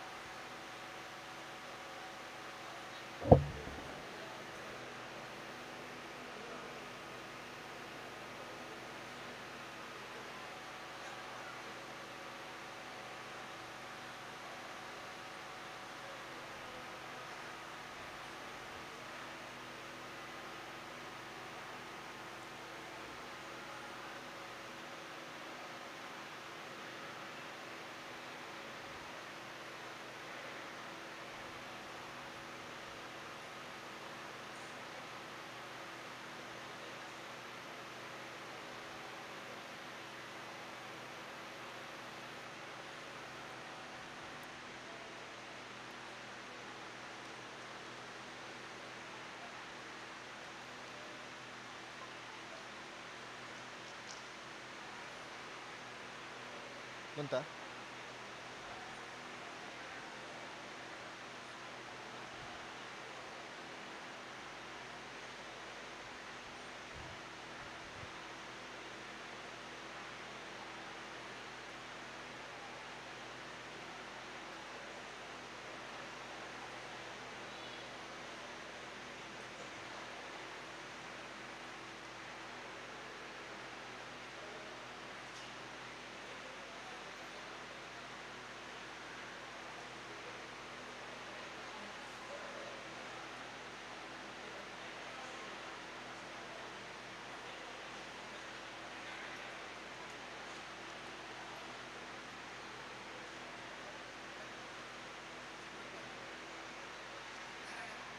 ಅದೇ ಇದು ಸ್ಕ್ರೀನ್ ಬರ್ತಾ ಇಲ್ಲ.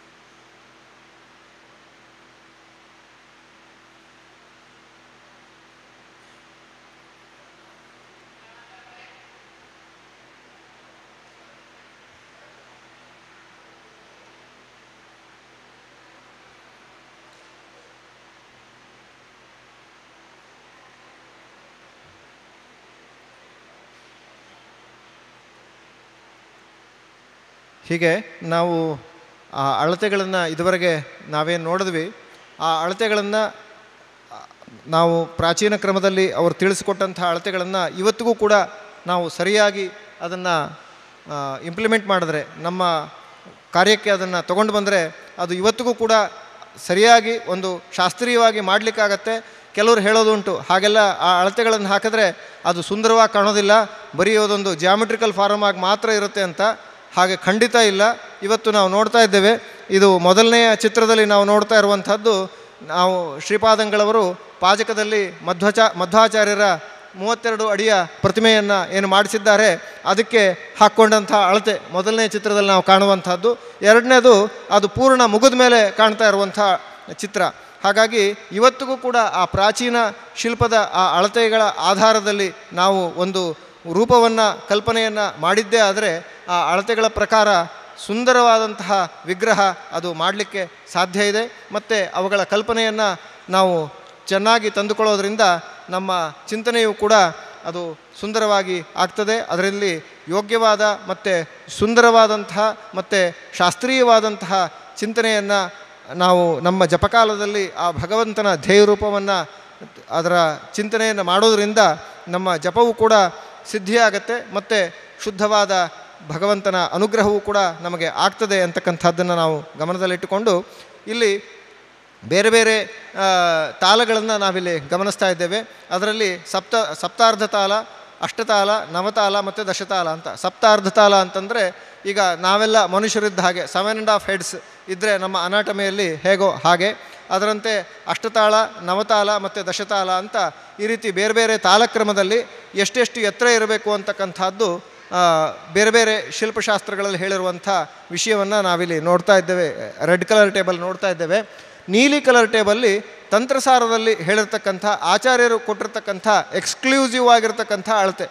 ಇಲ್ಲಿ ಬೇರೆಯವ್ರ ಅಳತೆಗೂ, ಇಲ್ಲಿ ಆಚಾರ್ಯರು ಕೊಡುವಂಥ ಅಳತೆಗೂ ಸ್ವಲ್ಪ ಅಲ್ಲಲ್ಲಿ ವ್ಯತ್ಯಾಸಗಳು ನಮಗೆ ಕಾಣುತ್ತೆ. ಹಾಗಾಗಿ ಆ ವ್ಯತ್ಯಾಸ ಅಳತೆ ಏನೇ ಇದ್ದರೂ ಕೂಡ ಸೌಂದರ್ಯದ ದೃಷ್ಟಿಯಿಂದಲೂ ಮತ್ತು ಆ ಅಳತೆಗಳಲ್ಲಿ ಆಚಾರ್ಯರು ಕೊಟ್ಟಂತಹ ಆ ಶುದ್ಧತೆಯ ದೃಷ್ಟಿಯಿಂದಲೂ ಇವೆಲ್ಲದರಿಂದಲೂ ಕೂಡ ಆ ಪ್ರತಿಮಾ ಲಕ್ಷಣ ತುಂಬ ಅದ್ಭುತವಾಗುತ್ತೆ. ಮತ್ತು ಜೊತೆಗೆ ಆಚಾರ್ಯರು ಅದಕ್ಕೆ ಸಕಾರಣವನ್ನು ಕೊಟ್ಟು ಎಲ್ಲೆಲ್ಲಿ ನಮಗೆ ಅನುಮಾನ ಬರುವಂಥ ಜಾಗಗಳಿದೆ. ಯಾವ ಜಾಗದಲ್ಲಿ ನಾವು ತಾಲವನ್ನು ನೋಡುವಾಗ ಈ ಜಾಗವನ್ನು ನಾವು ಇಟ್ಟುಕೊಂಡ್ರೆ ನಮಗೆ ಸರಿ ಹೊಂದ್ ಹೊಂದತ್ತೋ ಹೊಂದಲ್ವೋ ಅಂತ ಕೂಡಿಸುವುದು ಕಷ್ಟ ಎಲ್ಲೇ ಆಗ್ತದೆ.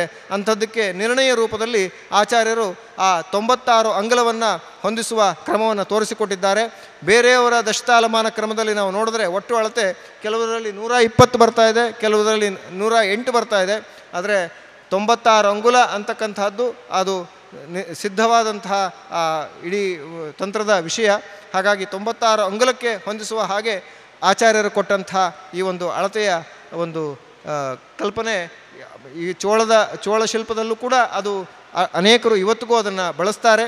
ಅನೇಕ ಕೂಡ, ಅನೇಕ ಕಡೆ ಕೂಡ ಇವತ್ತಿಗೂ ಅದು ತುಂಬ ಸು, ಸಿದ್ಧವಾದಂತಹ ಅಳತೆ ಅಂತ ಅದು ಪ್ರಸಿದ್ಧವಾಗಿದೆ. ಹಾಗಾಗಿ ಇವತ್ತು ಲೋಹಶಾಸ್ತ್ರದಲ್ಲಿ ಮಾಡುವಂತಹ ವಿಧಾನದಲ್ಲಿ ನಾವು ನೋಡೋದಾದರೆ ಇಂಥ ಅಳತೆಗಳನ್ನೇ ಇಟ್ಟುಕೊಂಡೇ ನಾವು ಮಾಡ್ಬೋದಾಗಿದೆ.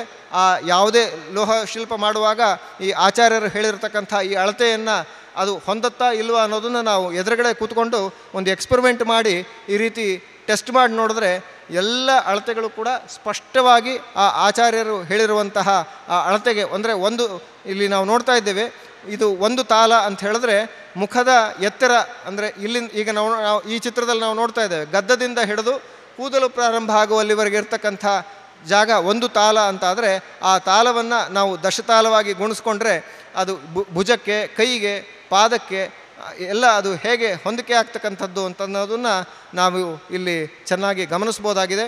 ಅಂಥ ದಿವ್ಯವಾದಂತಹ ಒಂದು ಪರಮಾತ್ಮನ ರೂಪಕಲ್ಪನೆ ನಮಗೆ ಆಗಬೇಕು. ಆಲಯ ಅಂತಂದರೆ ಕೇವಲ ನಾವು ಹೋಗಿ ಅಲ್ಲಿ ನಾಲ್ಕು ಪ್ರದಕ್ಷಿಣೆಯನ್ನು ಮಾಡಿ ಒಂದು ಹಣ್ಣು ಕಾಯಿ ಮಾಡಿಸ್ಕೊಂಡು ಬಂದರೆ ಅದು ಸಾಧ್ಯ, ಪೂರ್ಣ ಆಗದೇ ಇರುವಂಥದ್ದು ಅಲ್ಲಿ ಹೋದಾಗ ಭಗವಂತನ ಚಿಂತನೆ ಇಡೀ ನೆಲದಲ್ಲಿ ಎಲ್ಲೆಲ್ಲಿ ಓಡಾಡ್ತಾ ಇದ್ದೇವೆ, ಅದೆಲ್ಲವೂ ಕೂಡ ಆ ಭಗವನ್ಮಯ ಬ ಆ ಭಗವಂತನ ರೂಪ, ಆ ಗೋಪುರದಲ್ಲಿ ಮತ್ತು, ಆ, ಅಡ್ಡಡ್ಡಲಾಗಿರ್ತಕ್ಕಂಥ ಇಡೀ ಆಲಯದ, ಆ, ಆಂಗಣದಲ್ಲಿ, ಪ್ರಾಂಗಣದಲ್ಲಿ ಎಲ್ಲವೂ ಕೂಡ ಆ ಭಗವಂತನ ರೂಪ ಎಲ್ಲವೂ ಕಡೆ ತುಂಬಿಕೊಂಡಿದೆ ಮತ್ತು ಅದರ ಉಪದೇವತಾ ಸ್ಥಾನಗಳಲ್ಲಿ ಭಗವಂತನನ್ನು ಸೇವೆ ಮಾಡ್ತಾ ಅವನ ಎಲ್ಲ ಪರಿವಾರ ದೇವತೆಗಳು ಇದ್ದಾರೆ ಅಂತ ಚಿಂತನೆ ಮಾಡಬೇಕಂತೆ. ಒಂದು ದೇವಸ್ಥಾನಕ್ಕೆ ಒಂದು ಮಳೆ ಹೊಡಿಬೇಕಾದರೂ ಕೂಡ ಆ ದೇವರ ಆಜ್ಞೆಯನ್ನು ತೆಗೆದುಕೊಂಡು ಆ ದೇವಸ್ಥಾನಕ್ಕೆ ರಿಪೇರಿ ಮಾಡೋದು ಅಥವಾ ಮಳೆ ಹೊಡೆಯೋದು ಅಂತ ಕ್ರಮ. ಯಾಕೆಂದರೆ ಅದೆಲ್ಲವೂ ಭಗವಂತನ ಅಂಗಭೂತವೇ. ಅಲ್ಲಿ ಸುಮ್ಮ ಸುಮ್ಮನೆ ಈ ದೇವಸ್ಥಾನಕ್ಕೆ ಇವತ್ತೇನೋ ನಾನು ಕ್ಯಾಲೆಂಡರ್ನೇ ತಾಕ್ತೀನಿ ಅಂತ ಹೇಳಿದ್ರೆ ಮಳೆ ಹೊಡಿಲಿಕ್ಕೆ ಬರೋದಿಲ್ಲ. ದೇವಸ್ಥಾನ ಅಂದರೆ ಇಡೀ ಭಗವಂತನ ಒಂದು ಅವಯವ ಅಂತ ಚಿಂತನೆ ಮಾಡ್ಕೊಂಡಿರಬೇಕು. ಹಾಗಾಗಿ ಏನೇ ಬದಲಾವಣೆ ಮಾಡ್ತಾ ಇದ್ರೂ ಕೂಡ ನಮ್ಮಲ್ಲಿ ಇವತ್ತಿಗೂ ಕ್ರಮ ಇದೆ. ಹೋಗಿ ಮೂಲದೇವರಲ್ಲಿ ಪ್ರಾರ್ಥನೆ ಮಾಡಿ, ಹೀಗೊಂದು ನಾವೊಂದು ಬದಲಾವಣೆ ದೇವಸ್ಥಾನದಲ್ಲಿ ತರ್ತಾ ಇದ್ದೇವೆ ಅಂತ ದೇವರ ಒಪ್ಪಿಗೆಯನ್ನು ಪಡೆದು ಮಾಡುವಂಥದ್ದು. ಹಾಗಾಗಿ ಅಂಥ ದಿವ್ಯವಾದ ಭಗವಂತನ ಸಾನ್ನಿಧ್ಯವನ್ನು ನಾವು ಎಲ್ಲ ಕಡೆ ಚಿಂತನೆ ಮಾಡ್ತಾ ಇದ್ದಾಗ ಮಾತ್ರ ಅಂಥ ಚಿಂತನೆ ನಮ್ಮಲ್ಲಿ ಉಳ್ಕೊಳ್ತದೆ. ಅಂಥ ಚಿಂತನೆಯನ್ನು ಮಾಡ್ತಾ ಪರಮಾತ್ಮನ ಆ ದಿವ್ಯವಾದಂಥ ರೂಪವನ್ನು ರೂಪವನ್ನು ಕಲ್ಪನೆ ಮಾಡಿಕೊಂಡು ಇನ್ನು ಮುಂದೆ ನಾವು ಯಾವಾಗೆಲ್ಲ ಯಾವುದಾದರೂ ದೇವಸ್ಥಾನಕ್ಕೆ ಹೋಗ್ತೇವೆ, ದೇವಸ್ಥಾನದ ಮಹಾದ್ವಾರದಿಂದ ಹಿಡಿದು ದೇವಸ್ಥಾನದ ಪ್ರದಕ್ಷಿಣಾ ಪಥದವರೆಗೆ ಎಲ್ಲ ಕಡೆಯೂ ಕೂಡ ಆ ಭಗವಂತನ ಇದು ಪಾದ, ಇದು ಅವನ ಮಂಡಿ, ಇದು ಅವನ ನಾಭಿ, ಇದು ಅವನ ಕಂಠ ಇಂಥ ಚಿಂತನೆ ಮಾಡ್ತಾ ಆ ಗರ್ಭಗೃಹದಲ್ಲಿ ಆ ಪರಮಾತ್ಮನ ಊರ್ಧ್ವರೂಪವನ್ನು ಚಿಂತನೆ ಮಾಡ್ತಾ ಆ ಮೂರು ಲೋಕಗಳು, ಭೂರ್ಲೋಕ, ಸುವರ್ಲೋಕ, ಮಹರ್ಲೋಕ ಇತ್ಯಾದಿ ಅನೇ, ಹದಿನಾಲ್ಕು ಲೋಕಗಳ ಕಲ್ಪನೆಯ ಜೊತೆಗೆ ಭೂಹು ಭುವಃ ಸ್ವಹ ಲೋಕಗಳನ್ನು ಕೂಡ ಚಿಂತನೆ ಮಾಡ್ತಾ ಅಂತ ಭಗವಂತನನ್ನು ನಾವು ಸೇವೆ ಮಾಡೋಣ ಅಂತಹ ಸೇವೆ ಮಾಡೋದರಿಂದ ಭಗವಂತ ನಮ್ಮೆಲ್ಲರಿಗೂ ಕೂಡ ಆ ತನ್ನ ವಿಶಿಷ್ಟವಾದ ಜ್ಞಾನವನ್ನು ಕರುಣಿಸಲಿ, ಮತ್ತೆ ಮತ್ತೆ ಆ ಭಗವಂತನನ್ನು ಇನ್ನಷ್ಟು ಸೇವೆ ಮಾಡುವ ಹಾಗೆ ಆಗಲಿ ಅಂತ ಪ್ರಾರ್ಥನೆ ಮಾಡ್ತಾ, ಇವತ್ತು ವಿಶಿಷ್ಟವಾದಂತಹ ರಾಘವೇಂದ್ರ ಸ್ವಾಮಿಗಳ ಒಂದು ಜನ್ಮದಿವಸ, ಅಂಥ ದಿವಸದಲ್ಲಿ ರಾಘವೇಂದ್ರ ಸ್ವಾಮಿಗಳ ಅಂತರ್ಯಾಮಿಯಾಗಿರ್ತಕ್ಕಂಥ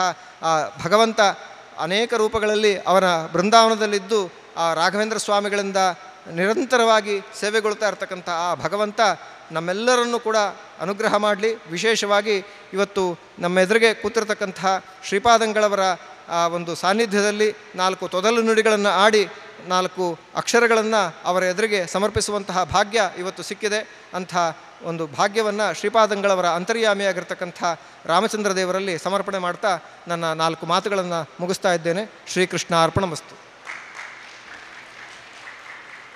ಇಷ್ಟು ಹೊತ್ತು ಕೆ ಎಂ ಶೇಷಗಿರಿಯವರು ಸವಿವರವಾಗಿ ಮತ್ತು ಅನೇಕ ಗ್ರಂಥಗಳ ಉಲ್ಲೇಖದೊಂದಿಗೆ ಆಲಯ ತತ್ವಚಿಂತನ ಕಾರ್ಯಕ್ರಮವನ್ನು ನಡೆಸಿಕೊಟ್ಟಿದ್ದಾರೆ. ಅದರೊಳಗೆ ಪ್ರತಿಮಾಂಗ ಲಕ್ಷಣಗಳು ಕೂಡ ಸಾಕಷ್ಟು ಹೇಳಿದ್ದಾರೆ. ಎಷ್ಟೋ ವಿಷಯಗಳು ನಮಗೆ ಗೊತ್ತಿರಲ್ಲ. ಸುಮ್ಮನೆ ಏನೋ ದೇವಸ್ಥಾನ ನೋಡಿರ್ತೀವಿ. ಅದು ಯಾಕೆ, ಅದು ಹೇಗೆ ಅನ್ನುವಂಥದ್ದು ಬಹಳ ಬೇರೆ ಬೇರೆ ಗ್ರಂಥಗಳ ಉಲ್ಲೇಖನಗಳನ್ನೆಲ್ಲ ತಗೊಂಡು ತೆಗೆದುಕೊಂಡು ಬಹಳ ಪರಿಶ್ರಮ ಪಟ್ಟು ಅದನ್ನು ರೆಡಿ ಮಾಡಿದ್ದಾರೆ. ನಮಗೆ ಪರಿಶ್ರಮ ಅಂತ ಅನಿಸುತ್ತೆ. ಅವರಿಗೆ ಅದು ಸಹಜವಾಗೇ ಬಂದಿದೆ. ಆ ಥರ ಎಲ್ಲ ಬೇರೆ ಬೇರೆ ಗ್ರಂಥಗಳ ಉಲ್ಲೇಖವನ್ನು, ಅವಲೋಕನ ಮಾಡಿ ಉಲ್ಲೇಖವನ್ನು ತೆಗೆದು ಅದನ್ನು ಪಿ ಪಿ ಟಿ ಪ್ರೆಸೆಂಟೇಷನ್ ಮಾಡುವಂಥದ್ದು ಅಂತ ಶೇ, ಕೆ ಎಂ ಶೇಷಗಿರಿ ಅವರಿಗೆ ಶ್ರೀಪಾದಂಗಳವರು ಅನುಗ್ರಹ ಮಂತ್ರಾಕ್ಷತೆಯನ್ನು ಕೊಡಬೇಕು ಅಂತ, ಕೊಡಮಾಡಬೇಕು ಅಂತ ಕೇಳ್ಕೊತೀನಿ. ಸಮಿತಿ ವತಿಯಿಂದ ಮನ್ ಫಲಮಂತ್ರಾಕ್ಷತೆಯನ್ನು ಶ್ರೀಪಾದಂಗಳವರು ಈಗ ಕೆ ಎಂ ಶೇಷಗಿರಿ ಅವರಿಗೆ ಕೊಡ್ತಾ ಇದ್ದಾರೆ.